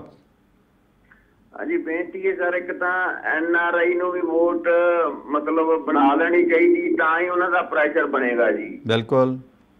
ਨਹੀਂ ਤਾਂ ਨਹੀਂ ਬਣ ਸਕਦਾ ਜੀ ਕਿਉਂਕਿ ਵੋਟ ਤੋਂ ਬਿਨਾਂ ਤਾਂ ਕੋਈ ਹੱਲ ਨਹੀਂ ਨਾ ਬਾਕੀ ਇਹ ਨਹੀਂ ਹੈਗਾ ਵੀ ਇਹ ਆਪਾਂ ਪਾਵਾਂਗੇ ਕਿਸੇ ਨੂੰ ਤੇ ਵਜਾਏਗੀ ਮੋਦੀ ਨੂੰ ਇਸ ਤਰ੍ਹਾਂ ਦਾ ਕੋਈ ਸਿਸਟਮ ਨਹੀਂ ਹੈਗਾ ਸਰ ਹੂੰ ਜੀ। ਹਾਂ ਇਸ ਤਰ੍ਹਾਂ ਨਹੀਂ ਹੋ ਸਕਦਾ ਜੀ ਬਿਲਕੁਲ ਹੀ ਜੀ ਏਦਾਂ ਹੀ ਹਨੇਰ ਕਰਦੀ ਨਹੀਂ ਵੱਜੀ ਹੋਈ ਲੋਕ ਹੁਣ ਸੁਚੇਤ ਨੇ ਜੀ। ਜੀ ਜੀ। ਬਾਕੀ ਲੋਕ ਸੁਚੇਤ ਹੋ ਕੇ ਵੋਟ ਪਾਉਣ ਜੀ। ਜੀ ਥੈਂਕ ਯੂ ਸਮਿਆ ਵਾਲੀ ਸਾਹਿਬ ਬਿਲਕੁਲ ਗੁਜ਼ਾਰਿਸ਼ ਹੈ ਜੀ। ਦੇਖੋ ਆ ਵੋਟ ਬਣਾਉਣ ਤੇ ਇੱਕ ਤੁਹਾਡੇ ਕੋਲ ਇੰਡੀਆ ਦੀ ਆਇਡੈਂਟੀ ਹੈ। ਕਿ ਤੁਸੀਂ ਤਹਿਸੀਲ ਜਾਣਾ, ਕਚਹਿਰੀ ਜਾਣਾ ਈਵਨ ਜੇ ਤੁਹਾਡੀ ਵੋਟ ਨਹੀਂ ਬਣੀ ਵੀ ਨਾ, ਦੋ ਕੇਸ ਨੇ ਮੋਗਾ ਦੇ। ਦੋਨਾਂ 'ਚ ਜਾਲੀ ਵੋਟਰ ਆਈਡੀ ਕਾਰਡ ਬਣਾ ਕੇ ਐੱਨ ਆਰ ਆਈ ਦੀ ਜ਼ਮੀਨ ਵੇਚਤੀ ਅਗਲੇ ਨੇ, ਕਿਉਂਕਿ ਰਾਸ਼ਨ ਕਾਰਡ ਜਾਂ ਹੋਰ ਤਾਂ ਵੈਲਿਡ ਨਹੀਂ, ਆਧਾਰ ਕਾਰਡ ਬਣਦਾ ਨਹੀਂ। ਸੋ ਕੋਈ ਨਾ ਕੋਈ ਪ੍ਰੂਫ ਚਾਹੀਦਾ ਹੁੰਦਾ, ਜੇ ਤੁਹਾਡੀ ਵੋਟ ਨਹੀਂ ਬਣੀ ਨਾ, ਤੁਹਾਡੀ ਵੋਟ ਕੋਈ ਹੋਰ ਹੀ ਬਣਾ ਕੇ ਕੈਸ਼ ਕਰ ਜੇਗਾ। ਇਸ ਕਰਕੇ ਤੁਸੀਂ ਕਿਉਂ ਨਹੀਂ ਬਣਾਉਂਦੇ ਯਾਰ? ਦੋ ਕੇਸ ਨੇ ਔਨ ਰਿਕਾਰਡ ਮੋਗਾ ਦੇ, ਕਿ ਤੁਹਾਡੀ ਜਾਲੀ ਆਈਡੀ ਬਣਾ ਕੇ, ਕਿਉਂਕਿ ਪ੍ਰੂਫ ਤੁਹਾਡਾ ਚਾਹੀਦਾ ਹੁੰਦਾ ਕੁਛ ਨਾ ਕੁਛ। ਸੋ ਇਸ ਕਰਕੇ ਵੋਟਰ ਆਈਡੀ ਕਾਰਡ ਬਹੁਤ ਵਧੀਆ ਪ੍ਰੂਫ ਹੈ, ਜੇ ਆਧਾਰ ਕਾਰਡ ਨਹੀਂ ਹੈਗਾ। ਕਿਉਂਕਿ ਆਧਾਰ ਕਾਰਡ ਦੀ ਜੇ ਲੋੜ ਵੀ ਨਹੀਂ ਪੈਂਦੀ ਐਨ ਆਰ ਆਈ ਨੂੰ। ਹੁਣ ਤਾਂ ਇੰਡੀਆ ਗਵਰਨਮੈਂਟ ਨੇ ਦੇ ਕਰਨਾਲ ਸਿੰਘ ਭਾਵੜਾ ਕਹਿੰਦੇ ਪ੍ਰਵਾਸੀ ਵੋਟ ਬਣ ਵੀ ਗਈ, ਤਾਂ ਹਾਲ ਇਹੀ ਰਹਿਣਾ, ਕਮਾਈ ਕਰਕੇ ਰਾਜਨੀਤਿਕ ਲੋਕਾਂ ਦੇ ਪਿੱਛੇ ਪਿੱਛੇ ਭੱਜਦੇ ਰਹਿਣਾ। ਬਹੁਤਿਆਂ ਕੋਲ ਸਮਾਂ ਹੀ ਨਹੀਂ। ਆਪਣੇ ਕਾਰੋਬਾਰ ਦੇ ਵਿੱਚ ਲੱਗੇ ਨੇ। ਬੈਲਟ ਦਾ ਬਦਲ ਬਿਹਤਰ ਹੈ। ਨਾਰਾ ਪੰਜਾਬੀਅਤ ਦਾ ਹੋਵੇ। ਪੰਜਾਬੀ ਸਾਰੇ ਇਕਮਤ ਹੋ ਕੇ ਮਹਾਰਾਜਾ ਰਣਜੀਤ ਸਿੰਘ ਦਾ ਰਾਜ ਵੀ ਸਾਰੇ ਪੰਜਾਬੀਆਂ ਦਾ ਰਾਜ ਸੀ, ਸਾਂਝਾ ਰਾਜ ਸੀ। ਹਰ ਪੰਜਾਬੀ ਮਹਾਰਾਜਾ ਰਣਜੀਤ ਸਿੰਘ ਦੇ ਰਾਜ ਤੇ ਮਾਣ ਕਰਦਾ। ਬਿਲਕੁਲ ਜੀ। ਹਿੰਦੂਆਂ ਨੂੰ ਹਿੰਦੂ ਰਾਜਾ ਪਸੰਦ ਸੀ ਉਹ ਹੈ ਜੇ ਮੁਸਲਮਾਨ ਵੀ ਉਸ ਨੂੰ ਆਪਣਾ ਰਾਜਾ ਸਮਝਦੇ ਸਨ। ਜਸਪਾਲ ਸਿੰਘ ਸਿੱਧੂ ਬਾਈ ਜੀ ਜੁੜੇ ਨੇ ਜੱਸੀ ਤੋਗਲਵਾਲਾ ਜੁੜੇ ਨੇ ਹਾਂਗਕਾਂਗ ਤੋਂ ਅਮਰਿੰਦਰਪਾਲ ਸਿੰਘ ਐਂਡ ਅਮਰਜੀਤ ਸਿੰਘ ਕਹਿੰਦੇ ਜੀ ਸਤਿ ਸ਼੍ਰੀ ਅਕਾਲ। ਵਧੀਆ ਵਿਸ਼ਾ ਹੈ, ਆਮ ਲੋਕਾਂ ਨੂੰ ਇਹਨਾਂ ਬਾਰੇ ਜਾਣਕਾਰੀ ਨਹੀਂ ਹੈ। ਕਮਲ ਬੈਂਸ ਬਾਈ ਜੀ ਜੁੜੇ ਨੇ ਨਿਰਮਲ ਸਿੰਘ ਐਂਡ ਬਲਵੀਰ ਸਿੰਘ ਕਹਿੰਦੇ ਸਤਿ ਸ਼੍ਰੀ ਅਕਾਲ। Sikandar Singh Aujla net problem Ekta party ਵਾਲੇ ਕਹਿੰਦੇ ਤੁਹਾਡੀ ਏਕਤਾ ਖਿੰਡ ਖਿੰਡ ਰਹੀ ਹੈ ਜੀ ਆਵਾਜ਼ ਟੁੱਟ ਰਹੀ ਹੈ ਮਾਫੀ ਚਾਹੁੰਦੇ ਹਾਂ। ਭਗਵੰਤ ਸਿੰਘ ਸਿੱਧੂ ਗੁਰਵਿੰਦਰ ਸਿੰਘ ਸੰਧੂ ਕਹਿੰਦੇ, ਮੰਨ ਲਓ ਐਨ ਆਰ ਆਈ ਦੀ ਵੋਟ, ਜੇ ਕੈਨੇਡਾ ਤੋਂ ਆਪ ਨੂੰ ਆਨਲਾਈਨ ਪੈ ਵੀ ਗਈ ਤਾਂ ਇੰਡੀਆ ਪਹੁੰਚਦੇ ਉਹ ਵੋਟ ਭਾਜਪਾ ਨੂੰ ਪੈ ਜਾਣੀ ਹੈ। ਸਾਈਬਰ ਸੈੱਲ ਵੀ ਤਾਂ ਸੈਂਟਰ ਦਾ ਹੈ। ਬਾਈ ਜੀ, ਇੰਨਾ ਨਿਰਾਸ਼ ਹੋ ਕੇ ਹਟੇ ਤਾਂ ਫਿਰ ਤਾਂ ਇਹ ਸਮਝੋ, ਤੁਸੀਂ ਇੰਡੀਆ ਹੀ ਨਾ ਹੋ ਵੀ ਤੁਹਾਨੂੰ ਕੋਈ ਖਾ ਜਾਏਗਾ, ਲੁੱਟ ਲਏਗਾ। ਜੇ ਇੰਨਾ ਡਰਨਾ ਨਾ, ਕਿਉਂਕਿ ਡਰਨਾ ਪੰਜਾਬੀਅਤ ਦੇ ਲੇਖੇ 'ਚ ਨਹੀਂ ਆਉਂਦਾ। ਜੇ ਉਹ ਤੁਹਾਡੀ ਵੋਟ ਨੂੰ ਉਹ ਕਰਦੇ ਨੇ, ਤੁਸੀਂ ਵਿਰੋਧ ਕਰੋ ਨੀਟੂ ਸ਼ਟਰਾਂ ਵਾਲੇ ਵਾਂਗੂ। ਫੇਮਸ ਤੇ ਹੋਵੋਗੇ ਨਾ। ਸੋ ਇਹ ਕੋਈ ਲੌਜੀਕ ਨਹੀਂ ਹੈ। ਇਹ ਤਾਂ ਜ਼ਿੰਮੇਵਾਰੀ ਤੋਂ ਭੱਜਣ ਵਾਲੀ ਗੱਲ ਆ ਵੀਰ ਮੇਰਿਆ ਸੰਧੂ ਸਾਹਿਬ। ਭਗਤ ਸਿੰਘ ਹੋਰਾਂ ਦੇ ਤੁਸੀਂ ਗੋਤੀ ਹੋ, ਇੰਨੀ ਜਲਦੀ ਨਹੀਂ ਹਾਰ- ਹੌਸਲਾ ਹਾਰੀ ਦਾ। ਇੰਜੀਨੀਅਰ ਕੁਲਵੀਰ ਸਿੰਘ ਵੜੈਚ ਕਹਿੰਦੇ ਮੁੱਦਾ ਅੱਜ ਫਿਰ ਵਧੀਆ ਤੁਸੀਂ ਅਕਸਰ ਇਦਾਂ ਦੇ ਮੁੱਦੇ ਲੈ ਕੇ ਐਨਆਰਆਈ ਵੀਰਾਂ ਨੂੰ ਸੁਚੇਤ ਕਰਦੇ ਹੋ। ਅਫਸੋਸ, ਕੋਈ ਵੀ ਮੀਡੀਆ ਵਾਲਾ ਜਾਂ ਪਾਰਟੀ ਕਦੇ ਗੱਲ ਨਹੀਂ ਕਰਦੀ। ਇੰਜੀਨੀਅਰ ਕੁਲਵੀਰ ਸਿੰਘ ਹੋਰਾਂ ਦੇ ਬੱਚੇ ਬਾਹਰ ਨੇ, ਇਹ ਬਾਹਰ ਗਏ। ਉੱਥੋਂ ਕਈ ਸਾਲਾਂ ਤੋਂ ਇਹ ਪ੍ਰੋਗਰਾਮ ਸੁਣਨ ਲੱਗੇ, ਉਦੋਂ ਦੇ ਮੇਰੇ ਪ੍ਰੋਗਰਾਮਾਂ ਨਾਲ ਜੁੜੇ ਆ। ਸੋ ਮੇਰੇ ਕਹਿਣ ਦਾ ਮਤਲਬ ਹੈ ਕਿ ਜੇ ਐੱਨ ਆਰ ਆਈ ਮੀਡੀਆ ਇੰਨਾ ਸਟਰੋਂਗ ਹੈ, ਐੱਨ ਆਰ ਆਈ ਮੀਡੀਏ ਤੋਂ ਭਾਰਤ ਦੀਆਂ ਸਰਕਾਰਾਂ ਵੀ ਡਰਦੀਆਂ ਨੇ, ਤੇ ਆਈ ਵੋਟ ਅਗਰ ਬਣ ਜਾਂਦੀ ਹੈ ਤੇ ਇਹਨਾਂ ਨੇ ਸਿੱਧੇ ਹੋ ਜਾਣਾ ਤੀਰ ਵਰਗੇ। ਪਰ ਤੁਸੀਂ ਸਿੱਧੇ ਕਰਨਾ ਨਹੀਂ ਨਾ ਚਾਹੁੰਦੇ, ਤੁਸੀਂ ਵੀ ਫੇਸਬੁੱਕ ਤੇ ਰੌਲਾ ਪਾਉਣ ਜੋਗੇ ਹੋ ਵੀਰੋ। ਤੇ ਨਕੋਦਰ ਤੋਂ ਬਾਈ ਜੀ ਬਲਵੀਰ ਸਿੰਘ ਕਹਿੰਦੇ ਡਿਊਲ ਸਿਟੀਜ਼ਨ ਵਾਲੇ ਵੀ ਵੋਟ ਦਾ ਅਧਿਕਾਰ ਚਾਹੀਦਾ ਜੇ ਆਪਾਂ ਨੂੰ ਮਿਲੇ ਤਾਂ ਟਰਾਈ ਕਰ ਸਕਦੇ ਆ ਫੇਕੂ ਪੀਐਮ। ਬਸ ਰਾਜਾ ਅਟਵਾਲ ਜੀ ਇਹ ਕਹਿ ਕੇ ਸਰ ਜਾਣਾ, ਆਪਾਂ ਨੇ ਹੋਰ ਕੰਮ ਨਹੀਂ ਕਰਨਾ। Majority of educated person does not cast their vote ਇਹ ਗੱਲ ਦਰੁਸਤ ਹੈ ਸ਼ਰਨਜੀਤ ਜੀ ਕਿਉਂਕਿ ਜਿਹੜੀ 엘ੀਟ ਕਲਾਸ ਹੈ ਵੋਟ ਨਹੀਂ ਪਾਉਂਦੀ। ਪਰ ਜਦੋਂ ਆਨਲਾਈਨ ਪ੍ਰੋਸੈਸ ਹੋ ਜਾਂਦਾ ਨਾ, ਤੇ ਫਿਰ ਇਹ ਚੀਜ਼ਾਂ ਸਖਾਲੀਆਂ ਹੋ ਜਾਣਗੀਆਂ, ਕਿਉਂਕਿ ਲਾਈਨ 'ਚ ਲੱਗਣਾ ਅਸੀਂ ਚਾਹੁੰਦੇ ਨਹੀਂ। ਤੇ ਇਸ ਵਾਰੀ ਇਲੈਕਸ਼ਨ ਕਮਿਸ਼ਨ ਨੇ ਬਹੁਤ ਵਧੀਆ ਰੋਲ ਵੀ ਨਿਭਾਇਆ। ਨਿਆਣੇ ਖੇਡਣ ਵਾਸਤੇ ਵੀ ਉੱਥੇ ਬੀਬੀਆਂ ਰੱਖੀਆਂ ਸੀ, ਜੇ ਤੁਸੀਂ ਵੋਟ ਪਾਉਣ ਜਾਂਦੇ ਸੀ, ਤੁਹਾਡੇ ਨਿਆਣਿਆਂ ਦਾ ਕਰੈਚ ਵੀ ਉੱਥੇ ਸੀਗਾ। ਸੋ ਪਾਣੀ ਦਾ ਵੀ ਪ੍ਰਬੰਧ ਸੀ, ਸ਼ੈੱਡ ਵੀ ਸੀ, ਬਹੁਤ ਵਧੀਆ ਪ੍ਰਬੰਧ ਸੀ ਜਿਹੜੇ ਚੋਣ ਕਮਿਸ਼ਨ ਦੇ। ਪਰ ਗੱਲ ਇਹ ਹੈ ਨਾ ਕਿ ਅਸੀਂ ਨਖਿੱਧ ਹੋ ਗਏ ਹਾਂ। ਤੇ ਬਲਜੀਤ ਸਿੰਘ ਬਲ ਕਹਿੰਦੇ ਜੀ, ਅੱਜ ਬਾਹਰ ਬੈਠੇ ਜਾਗਰੂਕ ਐਨ ਆਰ ਆਈ ਵੋਟਾਂ ਨਹੀਂ ਬਣਾਉਂਦੇ, ਇਸ ਵਿੱਚ ਉਹਨਾਂ ਦੀ ਨਲਾਇਕੀ ਕਹੀ ਜਾ ਸਕਦੀ ਹੈ। ਇੱਧਰ ਬੈਠੇ ਗਰੀਬ ਲੋਕ ਆਪਣੀਆਂ ਨਿੱਕੀਆਂ ਨਿੱਕੀਆਂ ਮਜਬੂਰੀਆਂ, ਗਰਜਾਂ, ਦਾਲ ਰੋਟੀ, ਸ਼ਰਾਬ ਨਸ਼ੇ ਦੇ ਲਾਲਚ ਵਿੱਚ ਆ ਕੇ ਆਪਣੀ ਵੋਟ ਦਾ ਸਹੀ ਇਸਤੇਮਾਲ ਨਹੀਂ ਕਰਦੇ। ਸੋ ਬਾਹਰ ਬੈਠੇ ਵੀਰ, ਇਹਨਾਂ ਅਖੌਤੀ ਲੀਡਰਾਂ ਨੂੰ ਵੋਟਾਂ ਬਣਾਉਣ ਤੋਂ ਬਚਾਉਣ। ਬਿਲਕੁਲ ਜੀ, ਉਹਦੇ ਕਾਊਂਟਰ ਤੁਸੀਂ ਆਪਣੀ ਵੋਟ ਬਣਾਓਗੇ, ਤੁਹਾਡੀ ਵੋਟ ਦੀ ਵੈਲਿਊ ਪਏਗੀ। ਇਹ ਗੱਲ ਕਲੀਅਰ ਹੈ। ਕੀ ਕਾਰਨ ਹੈ? ਆਪ ਜਾਂ ਖੈਰਾ ਗੱਲ ਕਿਉਂ ਨਹੀਂ ਕਰਦੇ? ਨਹੀਂ ਕਰਦੇ ਜੀ, ਉਹਨਾਂ ਦਾ ਉਹੀ ਦੱਸ ਸਕਦੇ ਨੇ। ਸੋ ਬੰਦ ਹੋ ਗਏ ਨੇ। ਗਲੋਬਲ ਪੰਜਾਬ ਤਾਂ ਬੰਦ ਨਹੀਂ ਹੋਇਆ ਜੀ, ਇਸ ਤਰ੍ਹਾਂ ਦੀ ਗੱਲ ਨਹੀਂ ਹੈ। ਸੰਧੂ ਸਾਹਿਬ ਕੋਈ ਸੋ ਪ੍ਰੋਬਲਮ ਹੋਏਗੀ ਨੈਟ ਦੀ ਤੁਹਾਡੇ 'ਚ। ਸੋ, ਦੇਖੋ ਦੋਸਤੋ, ਤੁਹਾਡੀ ਬਹੁਤ ਵੱਡੀ ਦਾਅਵੇਦਾਰੀ ਹੈ। ਰੈਪੂਟੇਸ਼ਨ ਤਾਂ ਬ੍ਰਾਡਕਾਸਟਿੰਗ 'ਚ ਮਾੜਾ ਸਮਝਿਆ ਜਾਂਦਾ, ਪਰ ਫਿਰ ਵੀ ਕੁਝ ਅਹਿਮ ਮੁੱਦੇ ਨੇ, ਜਿਨ੍ਹਾਂ ਤੇ ਗਾਹੇ ਬਗਾਹੇ ਹੋਕਾ ਦੇਣਾ ਚਾਹੀਦਾ ਹੈ। ਤੁਸੀਂ ਆਨਰ ਹੋ ਸਰ ਹੈਲੋ ਸਤਿ ਸ਼੍ਰੀ ਅਕਾਲ ਜੀ ਟਵਾਣਾ ਸਾਹਿਬ। ਸਤਿ ਸ਼੍ਰੀ ਅਕਾਲ ਜੀ। ਬਲਦੇਵ ਸਿੰਘ ਜੀ ਸਤਿ ਸ਼੍ਰੀ ਅਕਾਲ ਬਾਈ ਜੀ ਟੋਰਾਂਟੋ ਵਾਲਿਓ। ਕੀ ਹਾਲ ਹੈ ਹਾਂ ਠੀਕ ਠਾਕ ਧੰਨਵਾਦ ਬਹੁਤ ਮਿਹਰਬਾਨੀ ਬੜਾ ਵਧੀਆ ਮੁੱਦਾ ਲਿਆਂਦਾ ਚੰਗਾ ਤੁਸੀਂ। ਮਿਹਰਬਾਨੀ। ਟਵਾਣਾ ਸਾਹਿਬ ਮੈਨੂੰ ਵੀ 14 ਸਾਲ ਹੋ ਗਏ ਆਏ ਨੂੰ ਇੱਥੇ ਤੇ ਮੇਰੀ ਵੋਟ ਹੈ ਹੀ ਹੈ ਜੀ ਕਿਸੇ ਨੇ ਨਹੀਂ ਕੱਟੀ ਮੈਂ ਪਾਉਣਾ ਹਰ ਵਾਰ। ਤੁਸੀਂ ਇੰਡੀਆ ਆ ਕੇ ਪਾਉਂਦੇ ਹੋ ਤੁਹਾਡੇ ਕੋਲ ਉਹੀ ਪੁਰਾਣੀ ਵੋਟ ਹੈ ਭਾਜੀ ਪਰ ਉਹ ਵੋਟ ਜੇ ਕੋਈ ਕਹਿ ਦੇਵੇ ਨਾ ਉਹ ਵੋਟ ਕੱਟੀ ਜਾਣੀ ਹੈ। ਤੁਹਾਨੂੰ ਫਾਰਮ 6 ਚ ਨਵੀਂ ਵੋਟ ਬਣਾਉਣੀ ਪੈਣੀ ਹੈ ਫਿਰ ਤੁਸੀਂ ਆਨਲਾਈਨ ਆਪਣੇ ਭਾਈ ਭਤੀਜੇ ਨੂੰ ਕਹਿ ਕੇ ਵੀ ਪਵਾ ਸਕੋਗੇ। ਜੇ ਮੋਦੀ ਸਰਕਾਰ ਮਿਹਰਬਾਨ ਹੋਗੀ ਜੀ। ਉਹ ਅਜੇ ਮਿਹਰਬਾਨੀ ਨਾਲ ਤਾਂ ਹੀ ਤਾਂ ਗੱਲ ਕਰਦੇ ਪ੍ਰੋਕਸੀ ਵੋਟ ਅਜੇ ਉੱਤੇ ਪਿਆ ਹੀ ਹੈ ਕੁਝ ਕੀਤਾ ਨਹੀਂ ਇਹਨਾਂ ਨੇ ਪ੍ਰੈਕਟੀਕਲੀ ਨਹੀਂ ਨਹੀਂ ਜੇ ਤੁਸੀਂ Baldev Singh ji N R I vote form 6 ਚ ਬਣਾ ਲਈ ਇੱਕ ਤਾਂ ਤੁਹਾਡੀ ਵੋਟ ਕਟਾ ਨਹੀਂ ਸਕਦੇ। ਹੁਣ ਤੁਹਾਡੀ ਵੋਟ ਉਹ ਕਟਾ ਸਕਦਾ ਕੋਈ ਨਾ ਕੋਈ ਸ਼ਰਾਰਤ ਕਰਕੇ ਕਿਉਂਕਿ ਤੁਸੀਂ ਬਾਹਰ ਰਹਿੰਦੇ ਹੁਣ ਤੁਹਾਨੂੰ ਵੀ ਆਪਣੀ ਵੋਟ ਕਿਸੇ ਨੂੰ ਕਹਿ ਕੇ ਨਾ ਬੱਚੇ ਨੂੰ 6 ਤੋਂ 6 ਏ ਚ ਬਦਲਵਾ ਲਓ ਉਹਨੂੰ। ਫਿਰ ਤੁਹਾਡੀ ਵੋਟ ਕੋਈ ਕਟਾ ਨਹੀਂ ਸਕੇਗਾ। ਤੇ ਦੂਸਰਾ ਇਹ ਪਹਿਲਾਂ 2.5 ਸਾਲ ਪਹਿਲਾਂ ਜਦੋਂ ਆਮ ਆਦਮੀ ਪਾਰਟੀ ਦਾ ਜੋਰ ਸੀ ਨਾ ਇੱਥੋਂ ਅਸੀਂ ਵੋਟਾਂ ਬਣਾਈਆਂ ਵੀ ਸੀ ਨਵੀਆਂ ਭੇਜੀਆਂ ਲੇਕਿਨ ਉਹ ਚੋਣ ਕਮਿਸ਼ਨ ਨੇ ਕੁਝ ਕੀਤਾ ਹੀ ਨਹੀਂ ਉਹਦੇ ਤੇ ਹਾਂ ਉਹ ਅਜੇ ਨਾ ਐਨ ਆਰ ਆਈ ਨੂੰ ਵੋਟ ਪ੍ਰੋਕਸੀ ਰਾਹੀਂ ਨਹੀਂ ਜੇ ਤੁਹਾਡੀ 6 ਏ ਚ ਬਣੀ ਹੋਈ ਹੈ ਤੁਸੀਂ ਇੰਡੀਆ ਆ ਕੇ ਪਾ ਸਕਦੇ ਹੋ। ਉਹ 6 ਏ ਵਾਲੀ ਹੈ ਨਾ ਜਿਹੜੀ ਵੋਟ ਉਹ ਤੁਸੀਂ ਇੰਡੀਆ ਆ ਕੇ ਤਾਂ ਪਾ ਸਕਦੇ ਹੋ। ਪਰ ਪ੍ਰੋਕਸੀ ਰਾਹੀਂ ਅਜੇ ਉਹਨਾਂ ਨੇ ਆਗਿਆ ਨਹੀਂ ਦਿੱਤੀ ਮੋਦੀ ਦਬੀ ਬੈਠਾ ਕਿਉਂਕਿ ਉਹਨੂੰ ਪੁੱਛਦਾ ਹੀ ਕੋਈ ਨਹੀਂ। ਠੀਕ ਹੈ ਦੂਸਰਾ ਮੈਂ ਕਮਲ ਸੰਧੂ ਜਿਹੜੇ ਐਮਐਲਏ ਖਰੜ ਤੋਂ ਉਹਨਾਂ ਨੂੰ ਮੈਸੇਜ ਭੇਜਿਆ ਸੀਗਾ। ਹੂੰ। ਜਦੋਂ ਆਪਣੇ ਭਗਵੰਤ ਮਾਨ ਨੇ ਨਵੇਂ ਨਵੇਂ ਬਣਦੇ ਸਾਰ ਕਹਿੰਦਾ ਵੀ ਇਹ ਇਕੱਠੇ ਹੋਵਾਂਗੇ ਐਂ ਕਰਾਂਗੇ ਉਹ ਕਹਿੰਦੇ ਹਾਂ ਉਹਨਾਂ ਦਾ ਕਰਸੀ ਫੋਨ ਆਇਆ ਸੀਗਾ ਮੈਨੂੰ। ਜੀ। ਭਗਵੰਤ ਨੇ ਰਾਏ ਪੁੱਛਿਆ ਮੈਨੂੰ ਰਾਏ ਦਿਓ ਮੈਂ ਕੀ ਸਵਾਲ ਪੁੱਛਿਆ ਮੈਂ ਉਹ ਕਮਲ ਸੰਧੂ ਨੂੰ ਮੈਸੇਜ ਦਿੱਤਾ। ਮੈਂ ਕਿਹਾ ਜੀ ਉਹਨਾਂ ਨੂੰ ਕਹੋ ਵੀ ਐਨਆਰਆਈ ਵੋਟ ਤੇ ਸਾਡੇ ਵਾਸਤੇ ਜਿਹੜਾ 에어ਪੋਰਟ ਦਾ ਅੰਮ੍ਰਿਤਸਰ ਦਾ ਵੀ ਚੰਡੀਗੜ੍ਹ ਦਾ ਚਲਾਉਣ ਦਾ ਸਾਡਾ ਇਹ ਮੁੱਦੇ ਕਹੋ ਉਹਨਾਂ ਨੂੰ ਵੀ ਐਨਆਰਆਈ ਦੀ ਵੋਟ ਕਿਉਂ ਨਹੀਂ ਪੈਂਦੀ? ਹੁਣ ਪਤਾ ਨਹੀਂ ਗੱਲ ਉਹ ਵੀ ਚੁੱਪ ਚੁੱਪ ਕਰਕੇ ਸਮਝ ਨਹੀਂ ਆਈ ਕੋਈ ਗੱਲਬਾਤ ਹੂੰ ਹੂੰ। ਜੀ। ਹਾਂਜੀ। ਧੰਨਵਾਦ ਜੀ ਮਿਹਰਬਾਨੀ। ਧੰਨਵਾਦ ਸਾਹਿਬ ਬਲਦੇਵ ਸਿੰਘ ਜੀ। ਦੇਖੋ 14 ਸਾਲ ਤੋਂ ਇਹਨਾਂ ਨੇ ਵੋਟ ਬਣਾਈ ਹੈ। ਜਦੋਂ ਵੀ ਇੰਡੀਆ ਹੁੰਦੇ ਨੇ ਵੋਟ ਪਾਉਂਦੇ ਨੇ। ਇਹਦੇ 'ਚ ਇਹ ਹੈ ਕਿ ਜਿਨ੍ਹਾਂ ਦੀਆਂ ਬਣੀਆਂ ਹੋਈਆਂ ਨੇ ਉਹਨਾਂ ਦੇ ਕਿਸੇ ਨੇ ਸ਼ਿਕਾਇਤ ਕਰ ਦਿੱਤੀ ਤੇ ਵੋਟ ਕੱਟ ਜਾਏਗੀ। ਕੈਂਸਲ ਹੋ ਜਾਏਗੀ। ਇਹਦਾ ਬਦਲ ਇਹ ਹੈ ਕਿ ਤੁਸੀਂ ਵਿਦੇਸ਼ ਚੋਂ ਹੀ ਆਪਣਾ ਫਾਰਮ ਭੇਜ ਕੇ ਪੁਰਾਣੀ ਵੋਟ ਦਾ ਪ੍ਰੂਫ ਦੇ ਦਿਓ ਨਾਲ। ਤੇ ਨਵੀਂ ਵੋਟ ਦਾ ਫਾਰਮ 6 ਆਨਲਾਈਨ ਸੀਈਓ ਪੰਜਾਬ ਦੀ ਸਾਈਟ ਤੇ ਜਾ ਕੇ ਤੁਸੀਂ ਭਰਨਾ ਹੈ। ਉਹਦੇ ਨਾਲ ਆਪਣੇ ਪਾਸਪੋਰਟ ਦਾ ਜਿਹੜਾ ਤੁਹਾਡਾ ਰੈਜ਼ੀਡੈਂਟ ਸਟੇਟਸ ਆ, ਉੱਥੇ ਉਹ ਪਾ ਦੇਣਾ ਇੰਡੀਆ ਦਾ ਆਪਣਾ ਐਡਰੈਸ ਪਾ ਦੇਣਾ ਪਿੰਡ ਦਾ, ਸ਼ਹਿਰ ਦਾ। ਆਪਣੇ ਇਲਾਕੇ ਦੇ ਤਹਿਸੀਲਦਾਰ ਦੇ ਨਾਲ ਇੱਕ ਜਿਹੜਾ ਵੋਟਾਂ ਬਣਾਉਣ ਵਾਲਾ ਹੁੰਦਾ ਹੈ ਬੀਓ ਸੋ ਉਸ ਨੂੰ ਤੁਸੀਂ ਜਿਹੜਾ ਹੈ ਮਾਸਟਰ ਹੁੰਦੇ ਨੇ, ਵੈਸੇ ਆਮ ਬੰਦੇ ਹੁੰਦੇ ਨੇ, ਪਿੰਡ ਦੇ ਹੀ ਹੁੰਦੇ ਨੇ ਕਈ ਵਾਰੀ, ਪਿੰਡ 'ਚ ਵੀ ਤੁਹਾਡੇ ਵੋਟ ਬਣਾ ਦਿੰਦੇ ਨੇ। ਸੋ ਉਹ ਵੋਟ ਤੁਸੀਂ ਹੈ ਜਿਹੜੀ ਉਹ ਬਣਾ ਸਕਦੇ ਹੋ। ਕੋਈ ਇਹ ਤੇ ਇੱਕ ਪੈਸੇ ਦਾ ਖਰਚ ਨਹੀਂ ਹੈ। ਤੇ ਇਹ ਵੋਟ ਕਦੇ ਕੱਟੀ ਵੀ ਨਹੀਂ ਜਾਂਦੀ। ਗੁਰਪ੍ਰੀਤ ਸਿੰਘ ਬੰਟੂ ਬਾਈ ਜੀ ਜੁੜੇ ਨੇ ਐਂਡ ਭੈਣਾਣੀ ਗੁਰਚਰਨ ਕੌਰ ਜੁੜੇ ਨੇ। In China lots of old people they have problems ਅਸਲ ਦੇ ਵਿੱਚ 20 ਏਸ਼ੀਅਨ ਦੇਸ਼ਾਂ ਦੇ ਤਕਰੀਬਨ 150 ਦੇ ਕਰੀਬ ਅ, ਏਸ਼ੀਅਨ ਦੇਸ਼ਾਂ ਦੇ 20 ਮੁਲਕਾਂ ਸਮੇਤ ਤਕਰੀਬਨ 150 ਮੁਲਕਾਂ ਜਿਹੜਾ ਹੈਗਾ 150 ਦੇ ਕਰੀਬ ਮੁਲਕਾਂ ਨੇ ਇਹ ਆਨਲਾਈਨ ਵੋਟ ਦਾ ਰਾਈਟ ਦਿੱਤਾ ਹੋਇਆ। ਸੋ ਇਸ ਕਰਕੇ ਇੰਡੀਆ ਵੀ ਇੱਕ ਪਾਸੇ ਅਗਰ ਸਾਈਬਰ ਦੀ ਗੱਲ ਕਰਦਾ ਨਿਊ ਇੰਡੀਆ ਦੀ ਗੱਲ ਕਰਦਾ ਤਾਂ ਇਹਨੂੰ ਅਡਾਪਟ ਪਰ ਜਦ ਗੱਲ ਇਹ ਹੈ ਨਾ ਕਿ ਮੋਦੀ ਸਾਹਿਬ ਨੂੰ ਪੁੱਛਦਾ ਹੀ ਕੋਈ ਨਹੀਂ। ਆਪੋਜੀਸ਼ਨ ਨਹੀਂ ਪੁੱਛਦੀ ਪਾਰਲੀਮੈਂਟ 'ਚ ਕੋਈ ਨਹੀਂ ਪੁੱਛਦਾ, ਰੌਲਾ ਬਥੇਰਾ ਪਾਉਂਦੇ ਨੇ ਲੋਕ। ਭਗਵੰਤ ਪਾਉਂਦਾ ਜਾਂ ਕਾਂਗਰਸ ਤਾਂ ਬੋਲਦੀ ਨਹੀਂ, ਖੈਰ, ਹੋਰ ਪਾਉਂਦੇ ਨੇ। ਤੇ ਉੱਥੇ ਇਹ ਮੁੱਦਾ ਕਿਉਂ ਨਹੀਂ ਉੱਠਦਾ? ਪੁੱਛੋ ਭਗਵੰਤ ਮਾਨ ਦੇ ਜਿਹੜੇ ਸਪੋਰਟਰ ਸਮਰਥਕ ਨੇ ਕਿ ਕਿਉਂ ਨਹੀਂ ਬੋਲਦਾ ਇਸ ਇਸ਼ੂ ਤੇ? ਕਿ ਤੁਸੀਂ ਆਪਣੇ ਨੋਟ ਹੀ ਦੇਣੇ ਆ। ਤੁਸੀਂ ਆਨਰ ਹੋ ਜੀ? ਔਜਲਾ ਸਾਹਿਬ ਕਹਿੰਦੇ ਨੈਟ ਵੀ ਸਰਕਾਰੀ ਹੈ ਤਾਂ ਕੀ ਸਮੱਸਿਆ ਆ ਰਹੀ ਹੈ। ਨਹੀਂ ਖਾ ਰਹੇ ਤਾਂ ਹੁਣ ਦੇਖੋ ਜੀ ਕੀ ਦੁੱਖ। ਸਾਡੇ ਕੋਲ ਕਈ ਸਾਰੇ ਨੇ ਜੀ। ਦੁੱਖ ਦੀ ਖਬਰ ਦੇਣੀ ਹੈ ਕਹਿੰਦੇ ਪਾਣੀ ਹਵਾ ਦੂਸ਼ਿਤ ਜਵਾਨੀ ਖਤਮ ਹੋ ਰਹੀ ਹੈ। ਬਿਲਕੁਲ ਅ, ਸਾਹਿਬ। ਲਖਵੀਰ ਨਰਵਾਲ ਕਹਿੰਦੇ ਵਿਦੇਸ਼ਾਂ ਵਿੱਚ ਵਸਦੇ ਲੋਕਾਂ ਨੂੰ ਜਦੋਂ ਵੀ ਵੋਟਾਂ ਬਣਾਉਣ ਬਾਰੇ ਪੁੱਛਿਆ ਜਾਂਦਾ ਤਾਂ ਕਹਿੰਦੇ ਨੇ ਕੀ ਲੈਣਾ ਇਹਨਾਂ ਵੋਟਾਂ ਤੋਂ? ਇਹਨਾਂ ਕੀ ਰੀਸ ਕਰਨੀ ਅੰਗਰੇਜ਼ਾਂ ਦੀ? ਫਿਰ ਬਾਈ ਜੀ ਰੌਲਾ ਪਾਉਣਾ ਛੱਡੀਏ। ਕਿਉਂ ਆਪਣਾ ਟਾਈਮ ਵੇਸਟ ਕਰਦੇ ਹੋ? ਕਿਉਂ ਕਲਪਦੇ ਹੋ? ਜੇ ਆਪਾਂ ਵੋਟ 'ਚ ਹਿੱਸਾ ਹੀ ਨਹੀਂ ਲੈਣਾ।